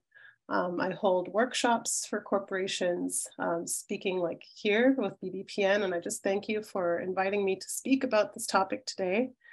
Um, and so let's get started. So just the quick agenda is uh, we're going to talk about the benefits of digital mental health for the client and coach counselor, the difference between a coach, counselor, consultant, and mentor, and client rights to information, confidentiality, and forms to sign, and a quick summary. So the benefits. So for the client, um, there's no need for transportation. You stay in the comfort of your home um, accessible with a phone or computer. Um, and there's more opportunity to meet a counselor sooner than later. And it's easier to shop for a counselor, and I'll, I'll explain what that means. Um, and there's also access to sliding scale opportunities. Um, so when shopping for a counselor, it's very important as a client to know that it's your journey um, and to trust yourself. If something feels off in the session, you're not quite comfortable with this person, that's okay. Not every counselor is a good match for a client and vice versa. Um, so that's one thing that I wish I knew um, previously. It's very important. And there's also something called a sliding scale. And with the previous uh, presentation it's very helpful because financial strain can be a real thing. And there are opportunities for free counseling. There's some resources like what was shared earlier as well online, but um, for me, I'm talking mostly um, about my own personal practice where I do have one-on-one sessions online. There's a sliding scale. So that means, and this as a client, you can ask and inquire, do you do sliding scale? Because I can only afford, let's say, $50 an hour instead of 100. And sometimes the counselor will meet the client where they're at. And then when they can afford more, then they can just slide up to what the full amount is. So that's an option for clients. And for the coach counselor, the benefit of digital mental health would be reaching clients across the globe, working from home, flexible hours, no need to rent an office space, and added career opportunity. So these are key differences that clients need to know because this way, for their own mental health journey, they're able to really get the service that they're looking for and the reason why I'm talking about coach, counselor, consultant, and mentor is just really about kind of the field I specialize in. So that's what this whole presentation is around. Um, and I do nutrition as well. So there's kind of a gray zone with nutrition because there is a little bit of advice giving, but we'll get we'll get into that. So for the coach, they focus more on present and future problem solving for the client. So I, I'm a certified life skills coach as well. And and a lot of people can call themselves a coach out there. It's very important to verify their credentials and if they've studied somewhere.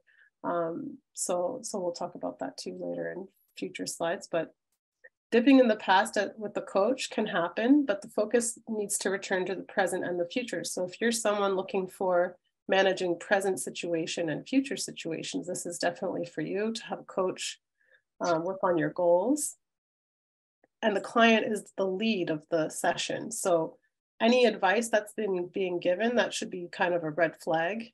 Um, if a coach is telling you how to manage your finances or how to to kind of apply for jobs that you like or whatever in your lifestyle or your family any advice that would be that would be a concern if a coach tells you what to do and also for counselors counselors focus on exploring the client's past emotional experiences. And there's a lot more sitting with the past and how they might be informing the present.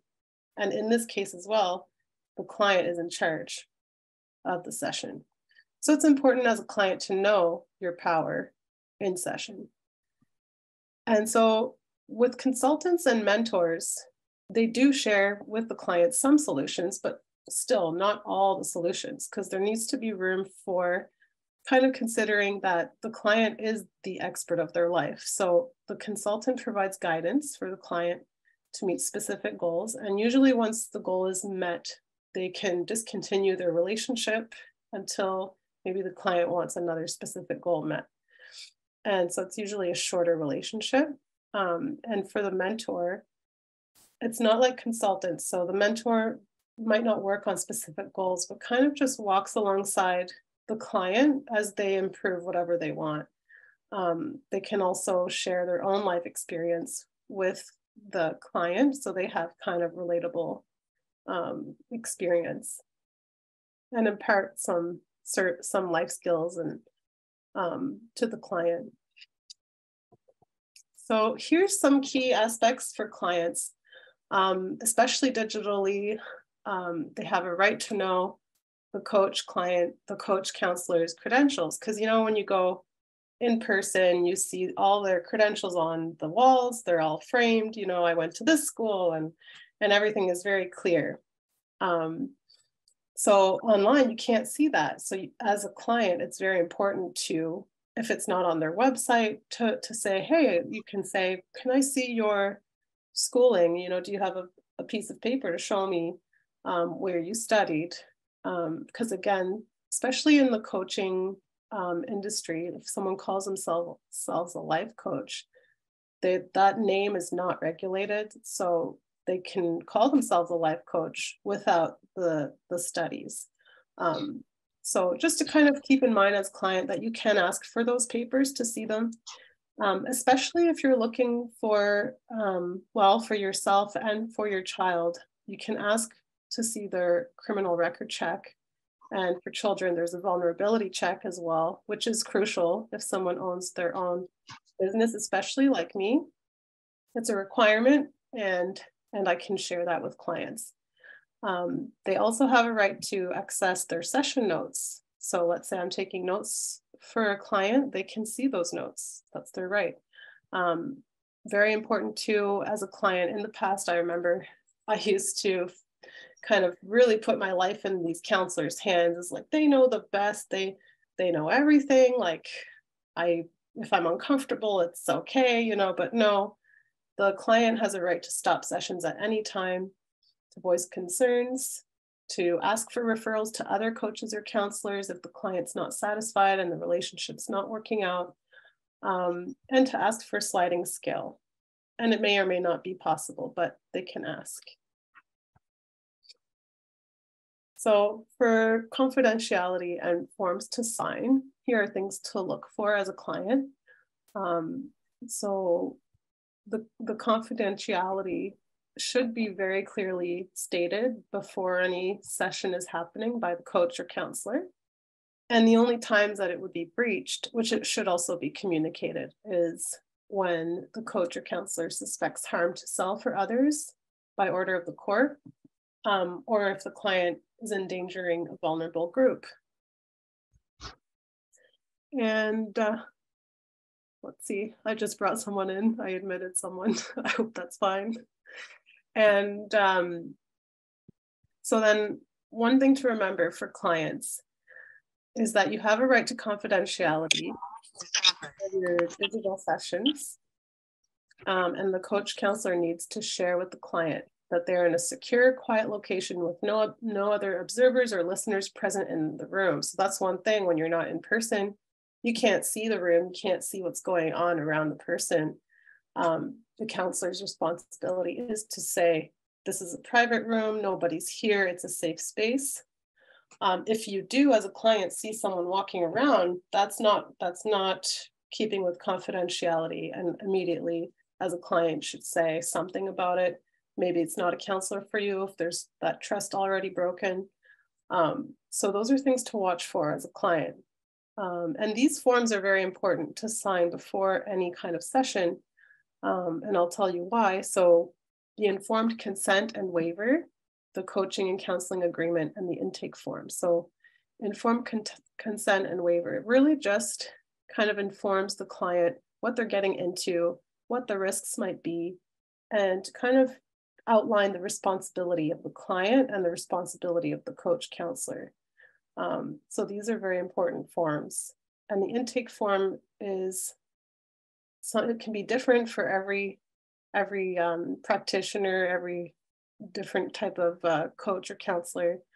Um, it can look different. And for nutrition, like for my practice, it might include pages and pages of whole body health, right? Are you having allergies and all these details? And the client can choose to not answer those questions or answer as much as they want. Just remembering that there's a freedom in these relationships and to always remember to be comfortable as a client doing those things. And any questions to go ahead and ask. So, just as a summary, as the client, you it's important to know your rights to information and confidentiality when especially digitally asking for that information um, for those for those papers showing that they're they have credentials um, and your power to choose who is a good match for you. Um, knowing the difference between a coach counselor consultant and mentor to achieve the goals you want make sure the person you're meeting has education um, and ask questions anytime and as a coach counselor, it's important to ensure the room is secure to meet confidentiality requirements, um, share credentials, limits of confidentiality, and assess if it is a good match with the client as well. Because sometimes, let's say I'm accepting a client and it's completely not a good match. They're looking for something like a mentor instead of a holistic nutrition counselor. And I also have a right to say, maybe we're not a good match, I might suggest a mentor if that's something they're looking for. So um, those are just things to keep in mind. So thank you everyone for your attention for my little share and I welcome any questions that you might have um, regarding the holistic nutrition um, counseling digitally. And I hope this was helpful just to kind of protect client and and kind of help with the counselors also um, the importance of information being shared.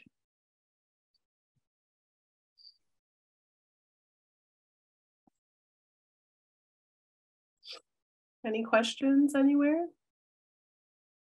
Thank you. Thank you, Tanya. Um, would like to, before I turn the floor open for questions, I would like to ask um, if you could share with us how um, your counseling has you know, helped people. How counseling has helped people? How your counseling, yes. Yeah, okay. So so one of the biggest things is that um, counseling counseling addresses um, counseling specifically dives into the past, as I mentioned. Um, and that what that does is it addresses any kind of past traumas in childhood, anything that happened in the past that might be imprinted today one of the biggest works that I like to do is with cognitive behavioral therapy. I'm not a cognitive behavioral therapist, but what that what that means is um, I can still use those skills and tools to help clients understand their past um, by the beliefs that might have been imprinted. You know, like for example, let's say I grew up in a very racist community and I have a belief that I'm unworthy. I have a belief that I'm less than, right? Those are beliefs that are imprinted here that I can work on with a counselor to get get them out, replace them with new beliefs that are not limiting me and that can expand my life today. So it's about kind of diving in the past, seeing what might be limiting me today, but by doing that past work as a counselor, um, even in nutrition as well, because it's a holistic approach. You're talking physical, emotional, mental, spiritual, all those levels together to kind of really support the present today. Thank you. Um, I don't know if you have a question. You can take the opportunity to ask question online. If you have a question for Tanya, please have the opportunity to ask.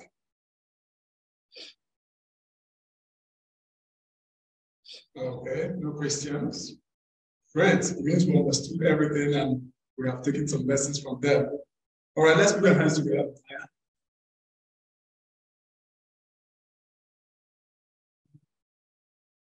And then we just on to the next presentation. Um, in this section, we'll be inviting um, a youth speaker. She's going to be sharing her experience. So um, she's uh, with the Journey with Boys and Girls Club. So let's put our hands together. So,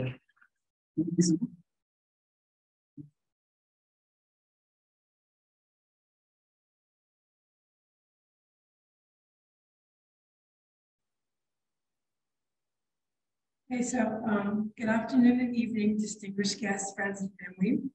My name is Ipti, and I'm a grade 10 student at Bernice Begun High School. I'm beyond grateful to be given the platform to share my thoughts and opinions about mental health awareness for BIPOC youth. Mental illness does not discriminate. While non-white people experience relatively similar rates of mental illness as white people, they face glaring disparities when it comes to accessing mental health help. Research has shown that BIPOC groups are less likely to have access to mental health services, less likely to seek out treatment, more likely to receive lower poor quality of care, and more likely to end services early. The pandemic has critically strained an already overburdened system, magnifying existing shortcomings of the mental health system, including inequitable availability, access, and quality of care for the Black, Indigenous, and people of color community. BIPOC continue to be disproportionately disproportionately affected emotionally and physically by the virus, experiencing more hospitalizations and greater mortality rates, as well as increased emotional distress. These losses are occurring against the backdrop of inequities due to systemic racism, including long-standing disenfranchisement of the healthcare system, historic trauma, stigma, high cost, and cultural sensitivity, which may put BIPOC communities at highest risk for not receiving mental health care. These barriers have persisted in the wake of prior disasters, preventing BIPOC communities from accessing and utilizing mental health treatment after national tragedies. Digital mental health tools like mobile apps could play a key role in expanding access to care for those most impacted by COVID-19 and systemic racism by providing remote assessment, support, or intervention, lowering the cost of mental health care, reducing transportation challenges, and providing care in a private and destigmatizing manner. The social impact movement on youth mental health with youth mental health wellness with IPTI offers five key recommendations on how the mental health care and technology fields can react to ensure development of approaches that increase health equity by increasing R, real world evidence, E, educating consumers and providers, A, utilizing adaptive interventions to optimize care, C, creating for diverse populations and T, building trust. Summer of 2021, I participated in an entrepreneurship program at the Moncton Boys and Girls Club was offering and created a business in which my goal was to aid teens getting well-rounded advice on everything from school to social, to social-led issues and everything in between. I presented the idea to a jury and won $50 as a startup. I believe that mental health problems does not define who you, who you are. They are something you experience. You walk in the rain, you feel the rain, but you are not the rain. Mental health is not a destination, but a process. It's about how you drive and where you're going. Thank you.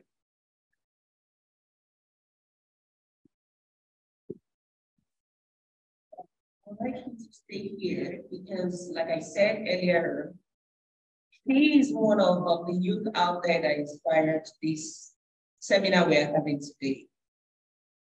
There, I think it was in 2021, we had this meeting and she, I got talking with her around the projects after she she presented to the grand jury at the Boys and Girls Club of uh.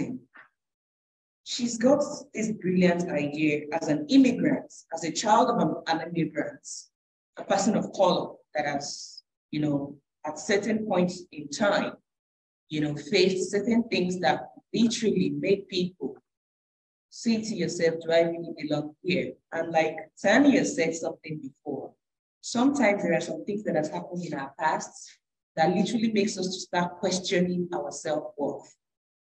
And it was so, I, I, I connected with that idea as a youth because what we all do here today, we as immigrants, we educated because we wanted our youth, our children to have that life that surpasses our lives. And we want to do everything possible to also let them know that they are worthy in the new environment they find themselves. And it's so shocking and encouraging to see that, you know, an immigrant child, youth in our own closet already understand that this exists. And I just don't want to sit on the fence and do nothing. I want to do something. So we decided to talk and ideas, social impact movements with IPTI literally came through that mentorship.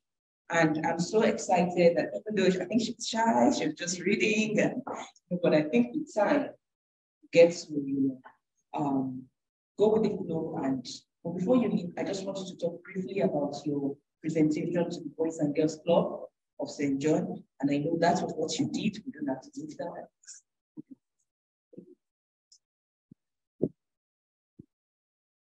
Um, so summer 2021, my mom forced me to go to an entrepreneurship program that the Boys and Girls Club of Moncton was offering.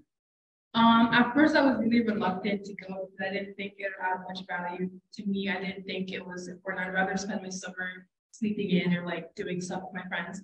But I'm very happy that she did encourage me or like make me go because I feel like it has helped me a lot into where I am today and it's helped me get a better grip of what I want to do in the future and better understand who I am now.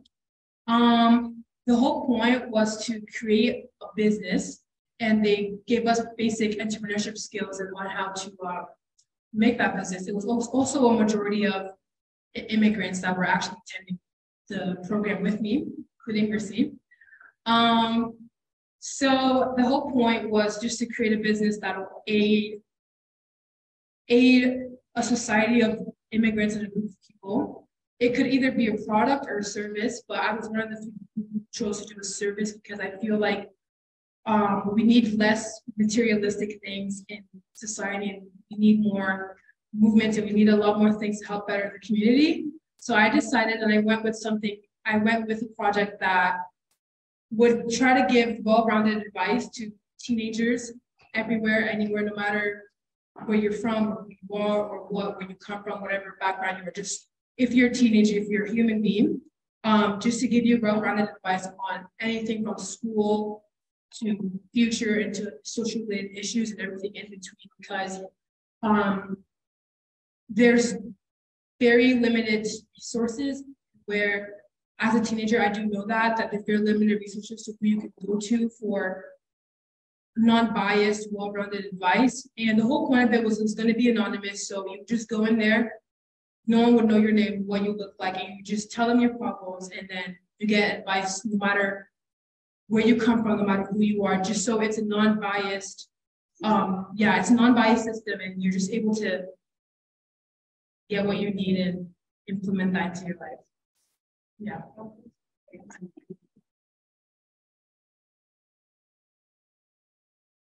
Thank you so much. Of the regards to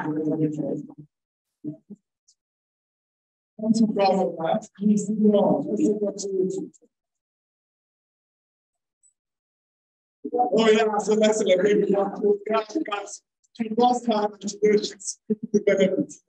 So sometimes, you know, we get people that tend to make us do what we usually don't want to do, but in the long run, find out that this has really impacted, it has really improved me. So um, the most important thing is to, you know, have those guidance around, because if you don't have guides, then you're definitely not really going to go far. So um, guide is very important, just like mom guided her. She didn't know it was very good also, but today she's enjoying herself and she's so proud of what she has been able to achieve. So please, let's put an hand Sorry, we're still expecting more from Thank you so much. So um, I, I don't know if you have any question. Do you have any question for her? She knows what she's doing. She knows what she's doing. So don't, don't think that she wouldn't be able to answer any question. She can. Please do. I'm interested in the car, but she said something about the car. And I would also want to encourage you to support it. So where are we with the car? What support do you require?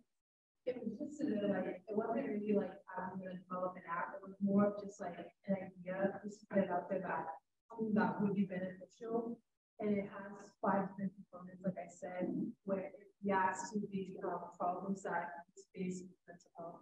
So it was just how mobile apps in general would aid mental health illness and just help people get the support they need. Yes. Some So I mentor her honestly and I say everything that she has brought to the table is all about our lived experiences. And this is the way to go because it's not just to say to the mentor, you just want to guide. So right now she's putting her ideas together, she's conducting research, and also we get to that point where we have this holistic picture. You know, we don't want to go into development phase. So still in the ideation phase. Thank you. Thank you so much. Please, uh, I would also like to add she needs every support that anyone can give, uh, organizations everywhere. So wherever you're listening from, if you think that there's something you can do to support it to enable her, you know, achieve her goal, you know, help the, the BIPOC community, ensuring that everybody gets the kind of, uh, you know, advice they need, you know, to, to you know, tackle any mental challenges they are going through. I think it is someone that we can really invest in. And uh, appreciate that. Thank you so much. Okay, the mom has something to say. Let's give an opportunity. Not a question, was just uh, give an advice for PT. Um, PT likes to stay more in accordance. To really event that I that's been I like to say, hey, go. So for to her, she feels like I'm forcing her and her mental health doesn't say she has to do But anywhere she gets to, she gets to make an impact and she comes back to say, oh, mom, thank you for forcing you.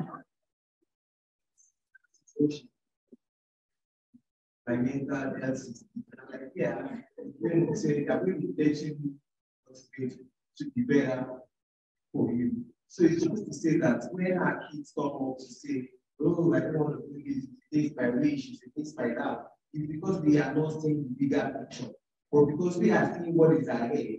And that is why Mira, she uses the word, she's always possible to say for everything the accident, like this program that I came for, I'm going to get a deal back to the you. And I'm glad to see that, yeah, she posted me and I did something. Thank you. Thank you. About because that's what i has happened. It's about 50 the mom saw that she has that, um, um, you know, energy. She has that, you know, strength in her. She can pick up something. She's creative, and she encouraged her to come out of our comforts. And that is why we are today, this program that we're building today is you know, like a Molitus, you know, originated from that. The idea came from her. So imagine if she didn't go for that, for that program, wouldn't be here I wouldn't have met um, uh, Erica and others as well. So let's just put our hands together. We're glad. We're the for that. yes, thank you so much. So um, we're going to be um, welcoming our next speaker today. And um, our speaker will be talking about the impact of real-time visual consultation on mental health of children, youth, adults, and families. And um, we're welcoming a professional in the um, health industry. And um, is no other person than Dr. Tunde Apantaku. Um, let's put our hands together. He's online, so he'll be joining us to give us a presentation. And Mr. Tunde, Dr. Tunde Seri, Dr. Tunde is a medical practitioner, clinical consultant, and CEO of Psych Care Canada. So let's put our hands together as a welcome. Okay, Th thank you, thank you so very much um, for for the invitation. Um, currently, I'm signed in on the on a mobile device. Can can someone please let me in? I have a second device.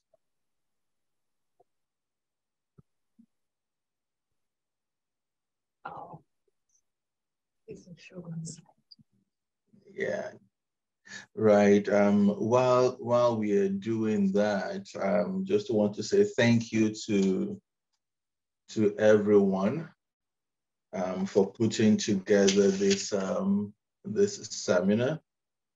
Um, cong congratulations um, to Black Business Professionals Network. Right. Uh, Okay, let's. Um, Your email. Yes, that's that's that's much better.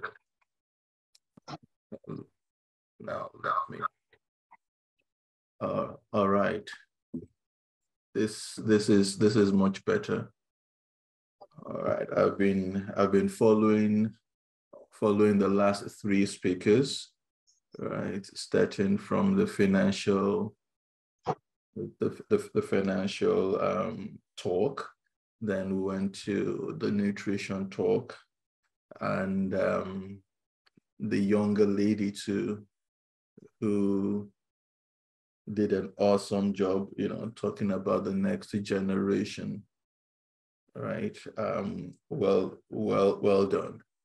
It's a great privilege to, you know, to be here right? Um, I don't have sharing privilege yet. If you if you want to do that for me,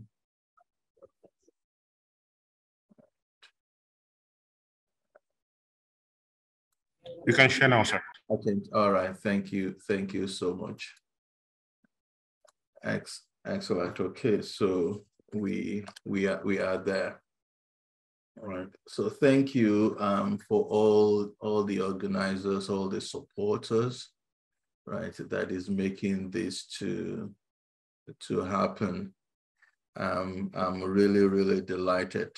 I'm not sure if this is the first time this is hosting or this is happening in this community, but certainly this is the first time that I'm I'm being a part of this, right? And um, the the last three speakers, you know, from talking from the financial lady, then to the lady that spoke about nutrition, right? Um, I've done a great job. So I will be putting together, you know, and borrowing quite a number of your words. So if you, you know, if you hear me say certain things you mentioned, just notice that um, yes, it's it is your words, and I took that from you. All right. Um, let's put this into a little bit of context. I think I have about 20, 30 minutes thereabouts. So just to help with time, um, I will go. Okay.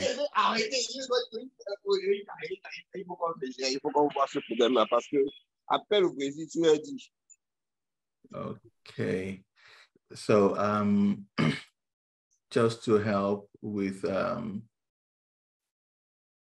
you know uh, all right.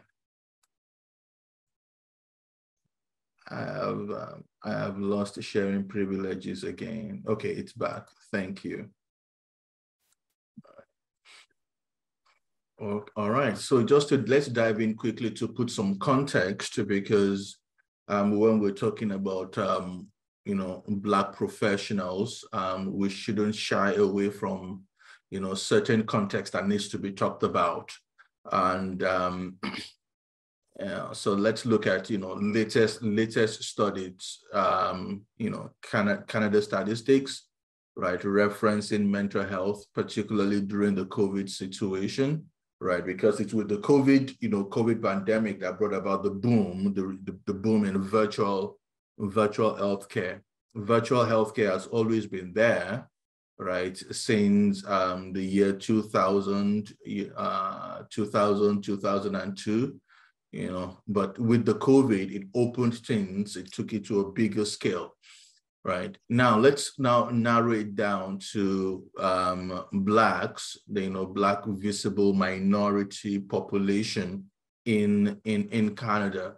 You know as you will see from mental health perspective right the black visible minorities are reporting that they struggle um, significantly with poorer you know um, mental health compared to um, white participants um, the same thing would go um, when you're looking at um, depression, anxiety, right? Um, close to, you know, um, nine, if not 10%, right? Um, more for Black people struggle with depression and anxiety compared to, to the white counterparts in the study um, during, during the pandemic um, the, the, lady that talked about financial security, right? Um, I, I, I talked about, you know, how to harness um, your financial your financial wealth, insurance, you know, and all that, which is great,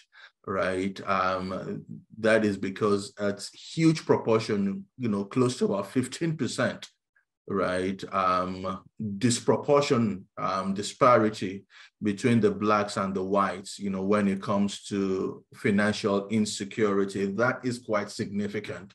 You know, any, any statistical figure that is greater than 10% is quite significant right? So um, no doubt about it, the Black visible um, minority population in Canada has struggled significantly with their mental health through, you know, through the COVID, right?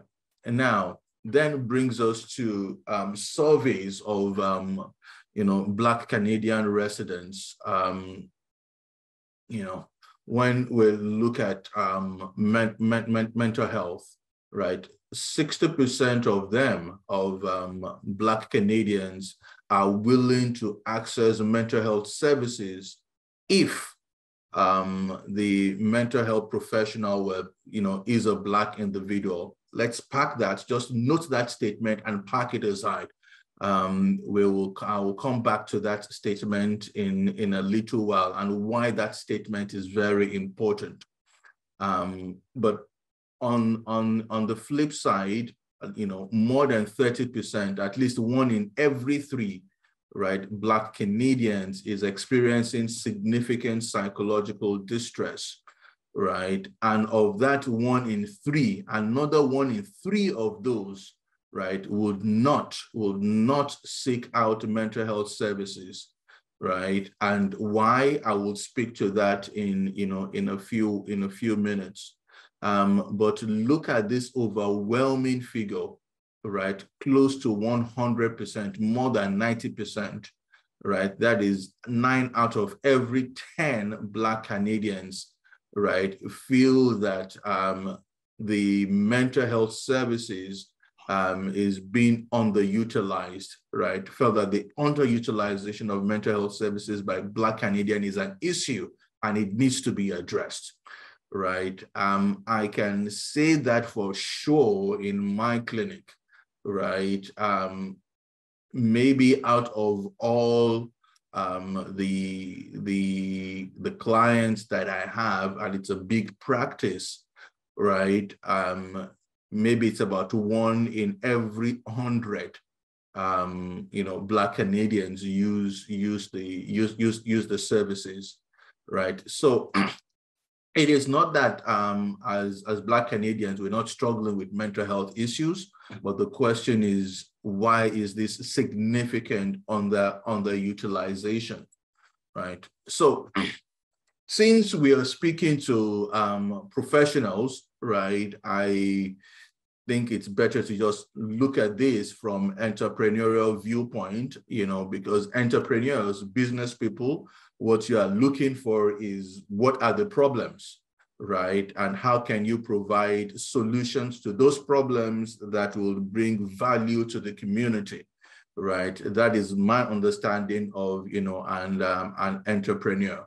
So for the, you know, business and professionals on this network, right? Um, I hope my talk will be able to, you know, um, help you start to put on your business, right, um, heart um, you know, and mind and brainstorming, right, on how to address some of these problems, you know, for for for for us.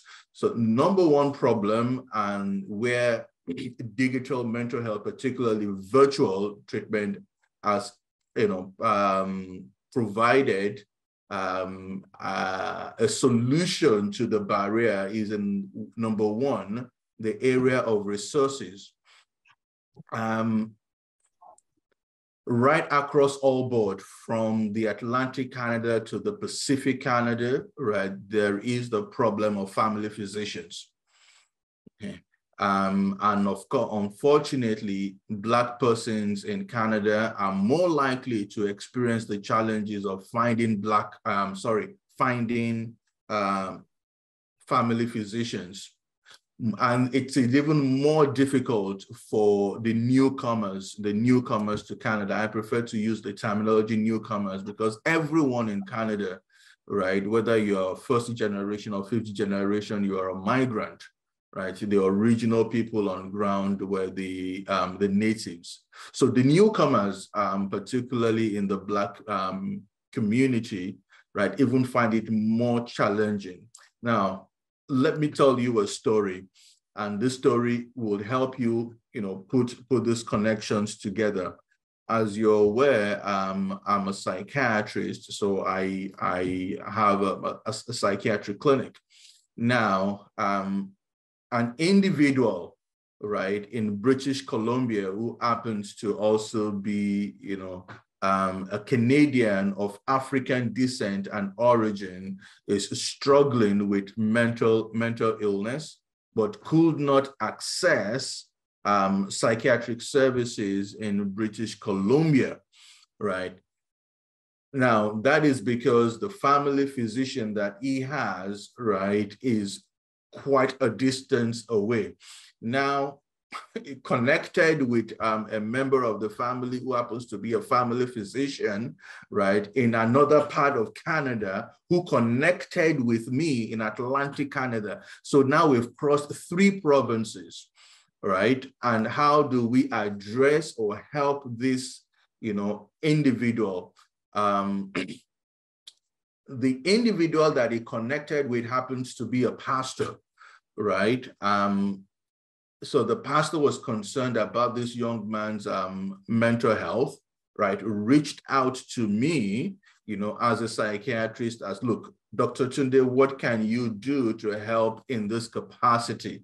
I was like, okay, great, right? Um, before before the COVID pandemic, there was nothing I could do, right? It's either he flies down to New Brunswick or I fly down over there, or we connect on telephone, right? Whichever way, um, but it will be a substandard treatment. I wouldn't even get involved, right? But on this occasion with virtual treatment, real-time video conference, where the three of us were able to connect and have a three, you know, um, a three-way video conference consultation, right, for this young man in British Columbia, right, by tele, you know, telehealth services. So like that, it was easy and okay to um, to break that barrier, um, to break that barrier and um, provide this in, this young man who was somewhere in the north, in the remote part of, um, of British Columbia, where I understand the population in that community was about 10,000 right? And he was concerned, you know, that um, if, if he talks about his mental health in the community, is likely to be discriminated against, you know, and and and all that. But so with with the with the impact, you know, of um, telehealth, um, telemedicine, telepsychiatry, virtual, you know, real-time video conference, it was easy to break that barrier. And you know, the good thing is um, again, we're able to, to, you know, to relate, to discuss with his family, right? And um, the young man is doing fantastically well, um, you know, and is back in his job, is doing what he loves doing as an IT professional, you know, and um, and all that. So those those resources, um, those lack of resources, right? Um, digital medicine, digital health has been able, you know, to bridge um, the the the wider community to make it a little bit more global and it makes it easier for people to work together right within any existing existing community. Now the second thing that we also need to talk about, particularly in within the Black um, community, right, is the problem of, you know, focus on prevention and the lack of education, right? Um, without sparing words at all, we are not doing a good job in that um, area. And that is because we have a very, very limited um, mental health literacy compared to um, the white white Caucasian population. So as a result, quite a number of people um, in the Black community is very guarded, right? Um, and they are closed up and they don't want to have conversation or they have find conversations about mental health very challenging. And that is because of, um, of stigma, right? No one likes to be stigmatized. No one wants to be stigmatized. But if you know we can reduce the um, scope, right, of stigma, then it is way easier, right, to improve um, people's help-seeking behaviors and attitudes towards accessing mental health right? So how does digital um, virtual virtual um, medicine you know, um, how does that come in now? Of course, within families, inside of families, um, mental health, particularly when you start to hear about psychiatric conditions, you know, it's considered a taboo, you know, God forbid. You would now start to hear things like God forbid. Well, which is true. No, no one wants to go, you know, experience that, but there are different stages, you know, of um, of um, mental of psychological disturbances. An individual who is stressed, right, who is um, overwhelmed, right, is going through a mental health distress, right? Um, it is not until the individual, you know, is schizophrenic or psychotic, right, or man or manic, you know, and they are not together in terms of their thinking faculties, that is, you know, the extreme of psychiatric illness, illness condition. So how has virtual, virtual um, care helped us, right? Um, in the last, in the last, um, maybe I would say 18 months, right? I have held several talks right? And several seminars, several education, several interviews, right? Across um, various um, um, Black communities, um, particularly churches, particularly um, business organizations, right, talking about mental health. And I do not have to leave the confines of my home. Sometimes I'm in my bedroom, right, um, and having this education, right, helping to improve um, the level of um, education for or within the Black community such that people will find um, mental health issues, you know, less challenging and less stigmatized.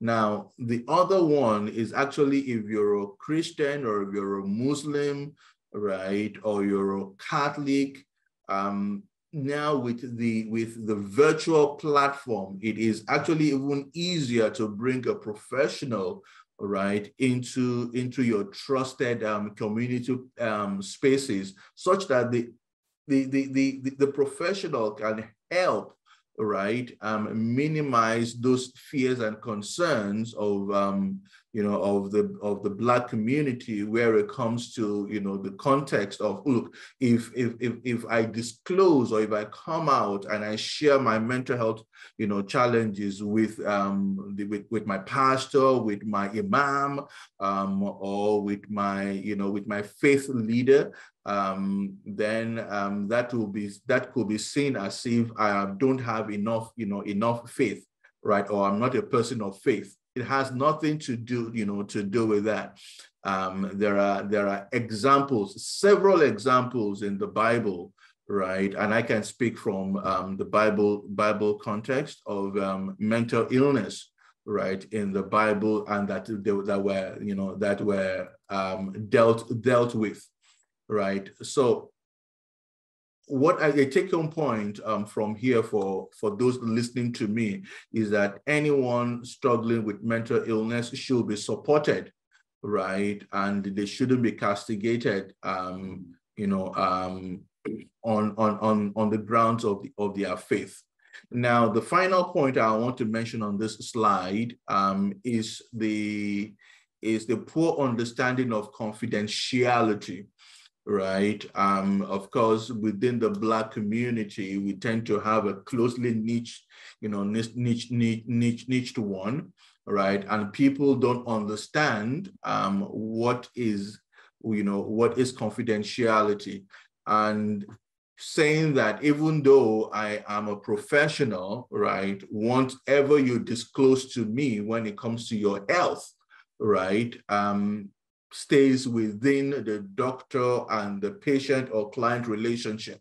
So I am ethically bound professionally not to divulge that information to anyone, right? So if in your community you're having um, a physician or a nurse you know, or a social worker, right? Those people understand, those professionals understand the, the, the, the extent and the ethics, um, professional ethics um, of confidentiality. So those are people that you can reach out to, right? But again, if you're concerned that the, that the familiarity is too close for comfort, right, to disclose, you know, mental health challenges, we can always utilize the virtual platforms, right? And I hope, you know, as um, professionals on this line, you'll be able to find a way on how to unearth all, you know, all this, um, all this wealth, right, that would have, bring all the professionals together,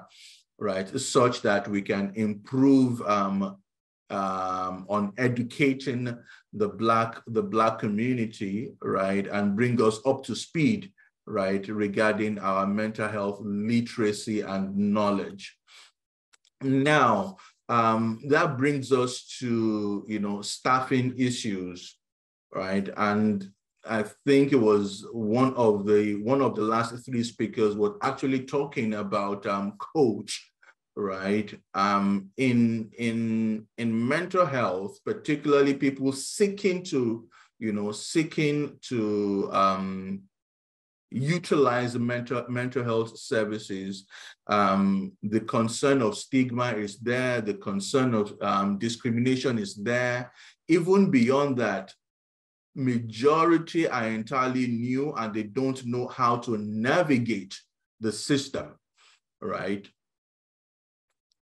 You can take advantage of this. And I hope, again, someone who is a professional, you know, can start to think, you know, about how to set up an agency, right, that would um, help people right, um, facilitate um, the coach network professionals such that an individual that wants to go to um, a psychiatric clinic, for example, right, um, and they don't know how to go about it, can always connect, right, with a peer support coach, right, who can then walk them through um, their own real life experiences, right, and help them see how they can um, put together their story, right, put together their challenge, right, in in um, a well um, in a well reasonable way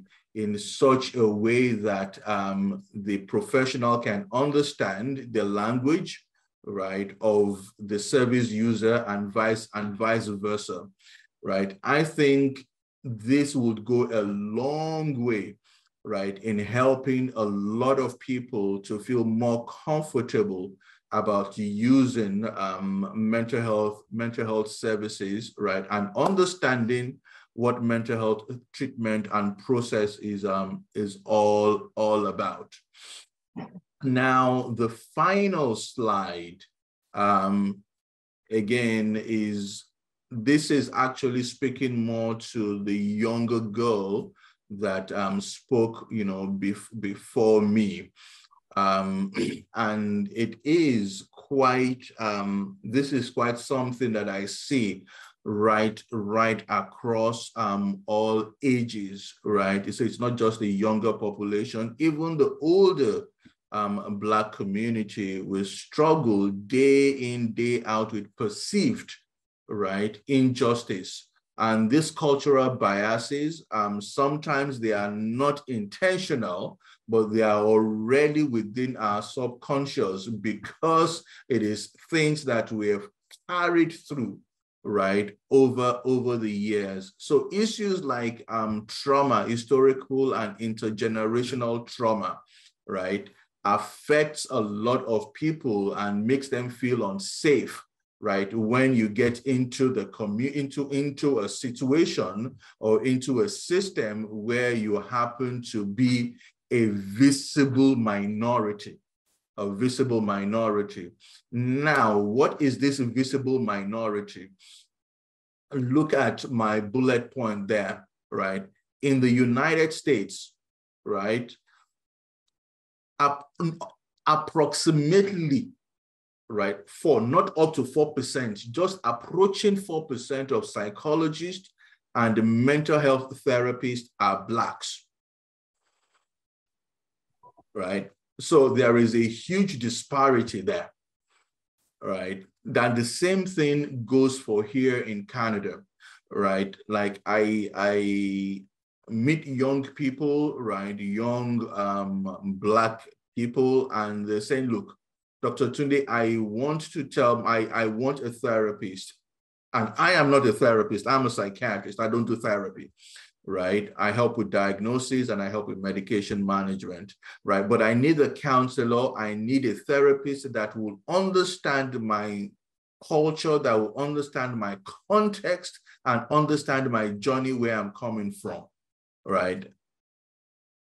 And as I speak, right, I don't know of anyone, any one individual, right, that does that in, in the old entire the entirety of New Brunswick, right? The only lady that I know that is black, right, and understands um, that is of African descent and understands this, right, is only is practicing in you know in Nova Scotia, right?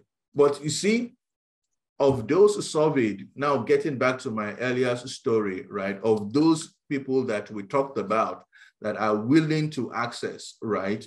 At least two in every three saying they are willing to speak to a professional, right? A mental health professional if they are Black, right? So that in itself speaks a lot of. Okay. Can I go ahead?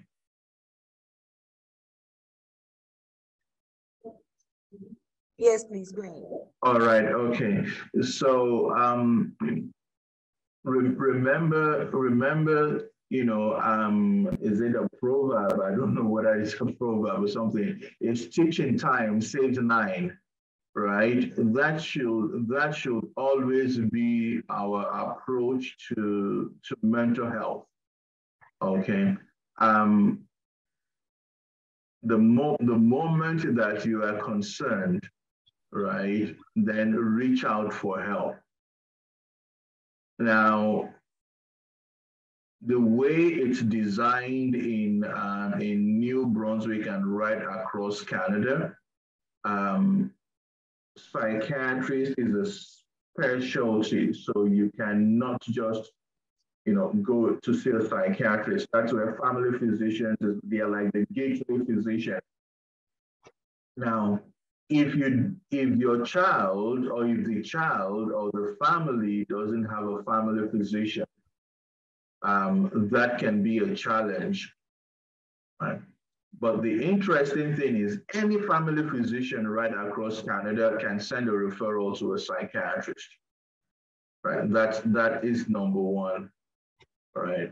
Now number number two um, is for, for children, right, pediatricians um, can send a referral to a psychiatrist so that the psychiatrist can access the services, right? Now, also, um, therapists or psychologists can send a referral, right, to, to a psychiatrist so that the, the, family can access services, right? And that was why again, I was highlighting the points that number one, within the within the Black community, there is the challenge of um, family physician, right? That's one. And even within within that, we're talking about um, therapies. There is no therapist that looks like me, right? So I don't feel confident reaching out to you know, the therapy services, right? So again, um, uh, I'm not utilizing what, what is available on ground, right? So to answer your question, right, um, there, there are stages that need, as of today, there are stages that need to be to be to be to be crossed, right? Family physicians, pediatricians, you know, um, therapists, counseling therapists, or psychologists you can go to those ones. They will do the initial um, intake assessment. They will listen and then advise you should this be escalated to, to the specialist level or not, right? However, um, if we are able to come up with a network, right, um, our own network, right, um, that makes it easier to break, you know, all those all those barriers so that it is easier um, for people to navigate the system. Instead of going serially, you know, we can then go parallel, um, which I think is um, it's uh, it's will, will, will be a better way, right, to provide um, to be reachable, um, and then provide services to families that need it. I hope that answers your question. Yes, thank you. All right. Thank you so much, Dr. Tunde. I appreciate that the response to that question. Um, to take us um, further, we are going to be welcoming our next speaker.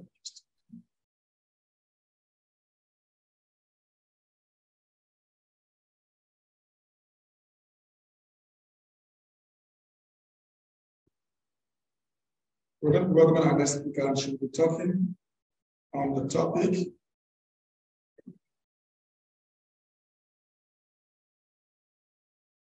digital and mental health awareness literacy focusing on BIPOC youth in Moncton. And um, we'll be welcoming Faith as shown for her presentation. And um, Faith will have five minutes and we'll like to We'd like to also talk about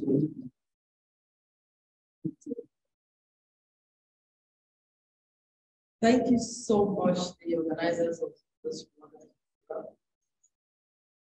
This is a very important and integral part of our community, uh, mental health. I call it the hot topic. And it is a privilege for me to speak on this topic. Why? Because it's my passion. And I also want to thank the other speakers who have been speaking, and my special thanks to PBT. PBT, you made my day, really. because this is where my passion lies, in giving the youth a voice in the community. That's that's what I'm you know what I'm so my name is uh, Faith and Ashokon is the founder of Pure Foundation. Pure Foundation is a registered not-for-profit um, organization in New Canada, and we are focused on empowering the youth with the right mindset to be just like to be very creative, productive. And our mission really is to raise mentally, emotionally, morally, and spiritually sound, very, very important. And when I talk about being innovative and creative and productive, me. For any youth to do this, they need to have a stable mind. If you don't have a stable mind, it's very, it's not realistic to be creative and productive and be able to um, think. And so why do we do what we do? Why do we empower this? Why is it? I have interacting with a lot of, especially with the Black. And from my previous interactions with the youth, my team and myself have identified some root cause of mental instability among the Black youth. And this causes range from lack of self lack of self-esteem. The youth complain that they do not have a safe place where they can express themselves, an inadequate community where they can collaborate and where they can engage, therefore causing a lot of instability in terms of the mental health, youth that migrated into Canada. I just feel that do I really belong to this community? They begin to struggle with this. And this is why since December of 2020 during the pandemic till date, Pure Gold has leveraged on using the digital space to solve this major problem, mental health. We have leverage on using digital tools like the count, like Canva, because those tools have helped engaging the youth activities that challenges their mind and brings out critical thinking skills from what I've said so far, no. We don't diagnose mental health like medical doctors do. We don't give um, prescriptions. What would be Pure Gold that we prevent mental health. We support the mental health very stable so that life can keep going. So what is the impact of um, using the digital space? In my next slide. Thank you.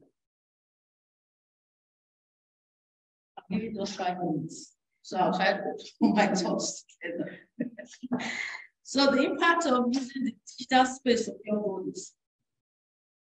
We have been able to reach over 70 youth in Newport Ghana across other countries um, using our digital space to administer transformative mind teachings that support mental health and promote self-esteem. We have taught positive values to telling them that if you have your values very positive, then you can get to any place you get to in life. They can't be limited with their values. We have taught purpose, letting youth know that everyone is unique, respective of your age, respective of your background, respective of where you are coming from, to let youth know that they are very, very unique and authentic people that can contribute to the community. And uh, we have also discussed, we had a very major project during the summer where we had the youth read a book and review the book. And this was tailored at the battlefield of the mind. What are the battles? That the youth struggle with their mind. Pure Gold has been able to identify it, to empower the how they can deal with the battles in their mind, hereby stimulating their mental health. We have also, in Pure Gold, created a very safe place where our youth can come and express their feelings and their emotions through our emotional check without or being judged or being. What have we? We have our biweekly classes. And our biweekly classes has become a community that you are very, very excited about. Why? Because they're able to learn, they're able to engage, and they're able to collaborate with people like themselves. We have succeeded in building a community of young people who have their awareness of their identity. If you ask my people, I have some of them. Mercy here, ask them what they will tell you with confidence that they are Colombians. Why? That is their identity. The ability to know their identity as royals gives them a lot of self-esteem. Their shoulders are to work with the community of members. These values have resulted to having an increase in the number of Black youth who have built self-confidence to share their ideas, to solve the issues in their community, not be intimidated by anyone.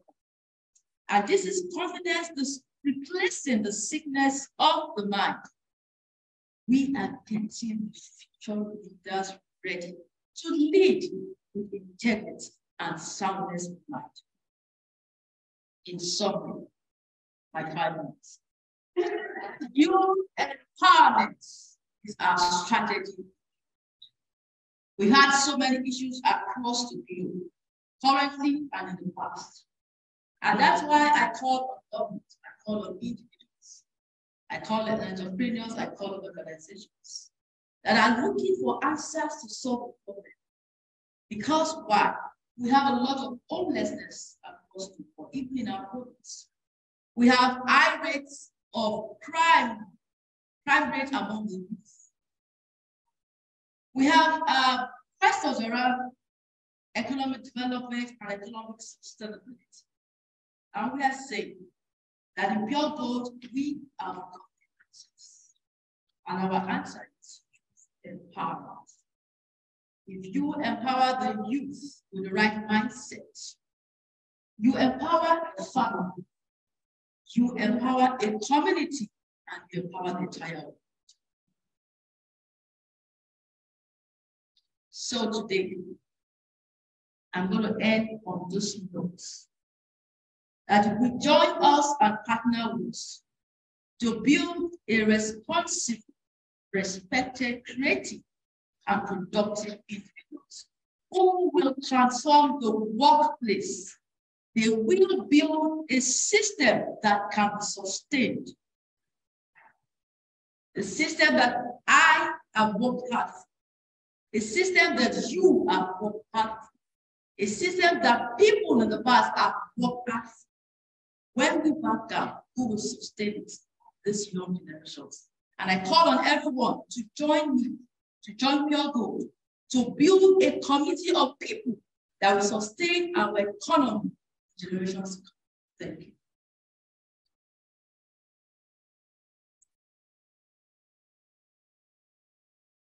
Thank you so much for that wonderful presentation. If I didn't take anything out of this presentation, it is that the mind is the first point of empowerment. When our mind is not properly empowered, when our mind is not properly you know, focused, then it means that every other investment, every other resource that we're putting into people will not bring the actual um, return. So thank you so much for that presentation. I will not have any time for questions. okay. So um, maybe we just would like to um, invite um, Mamadou Ouri. He's online to introduce himself and uh, we just have um, a few minutes to do that. Mamadou Ouri is the president of CPP It's um, a, um, a, Black community that is based here in New Brunswick. So Mamadou Ouri, if you are there, please go ahead and introduce yourself and your organization. Let's put our hands together as we welcome.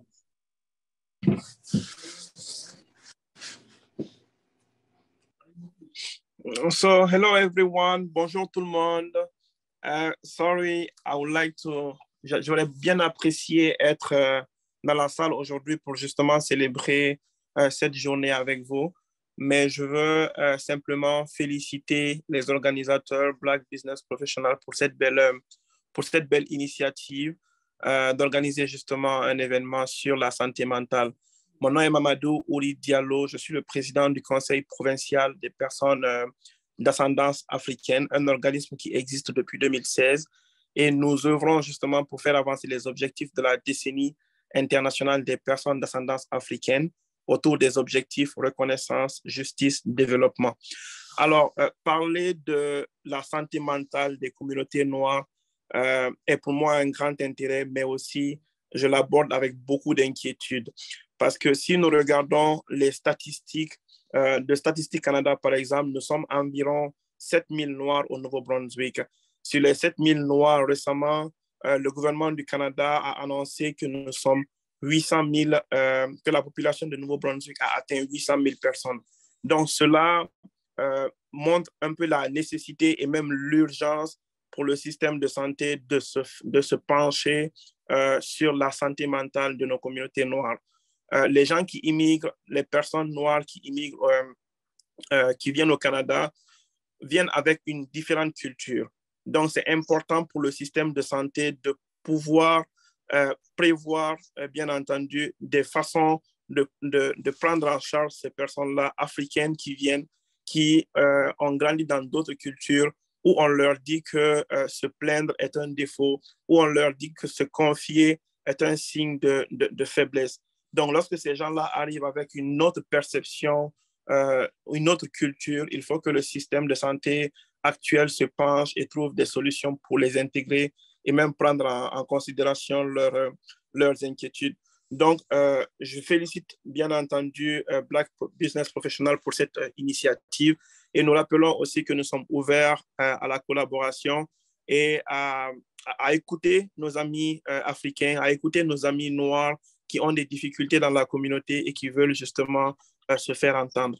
Merci à tout le monde. Salut.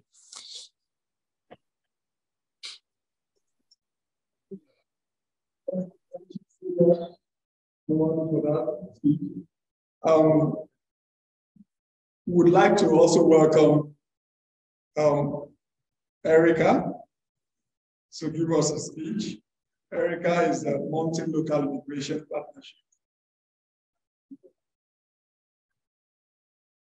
Okay. Thank you for the invitation. Thank you so much. Thank you.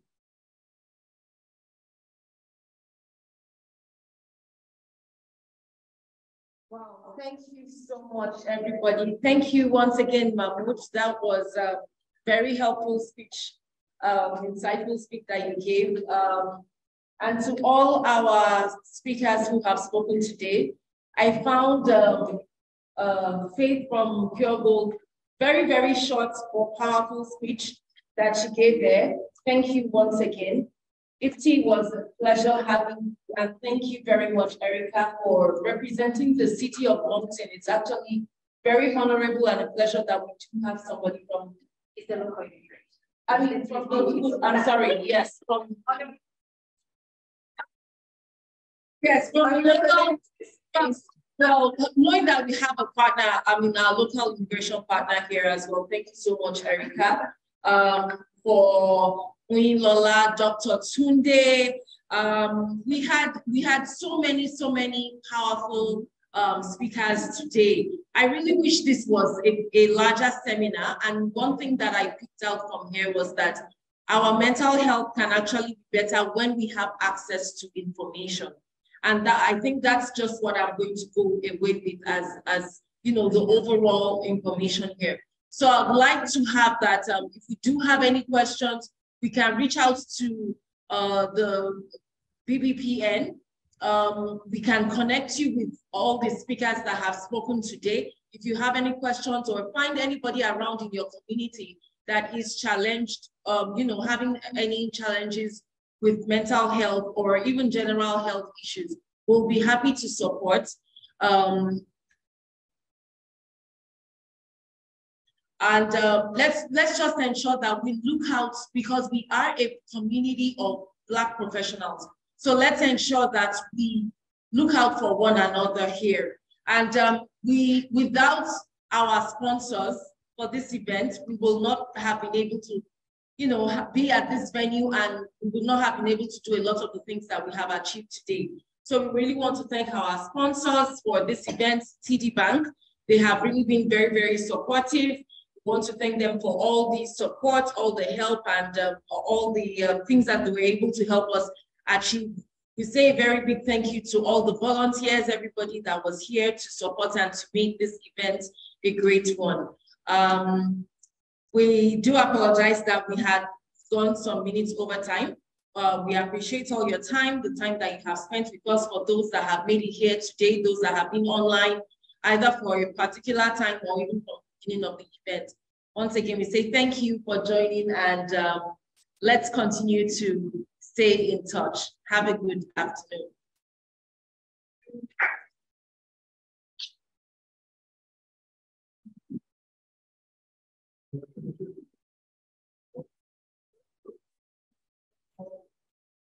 Thank you, and uh, that brings us to the close of the event. So I'm sure we all have a nice time. Thank you so much.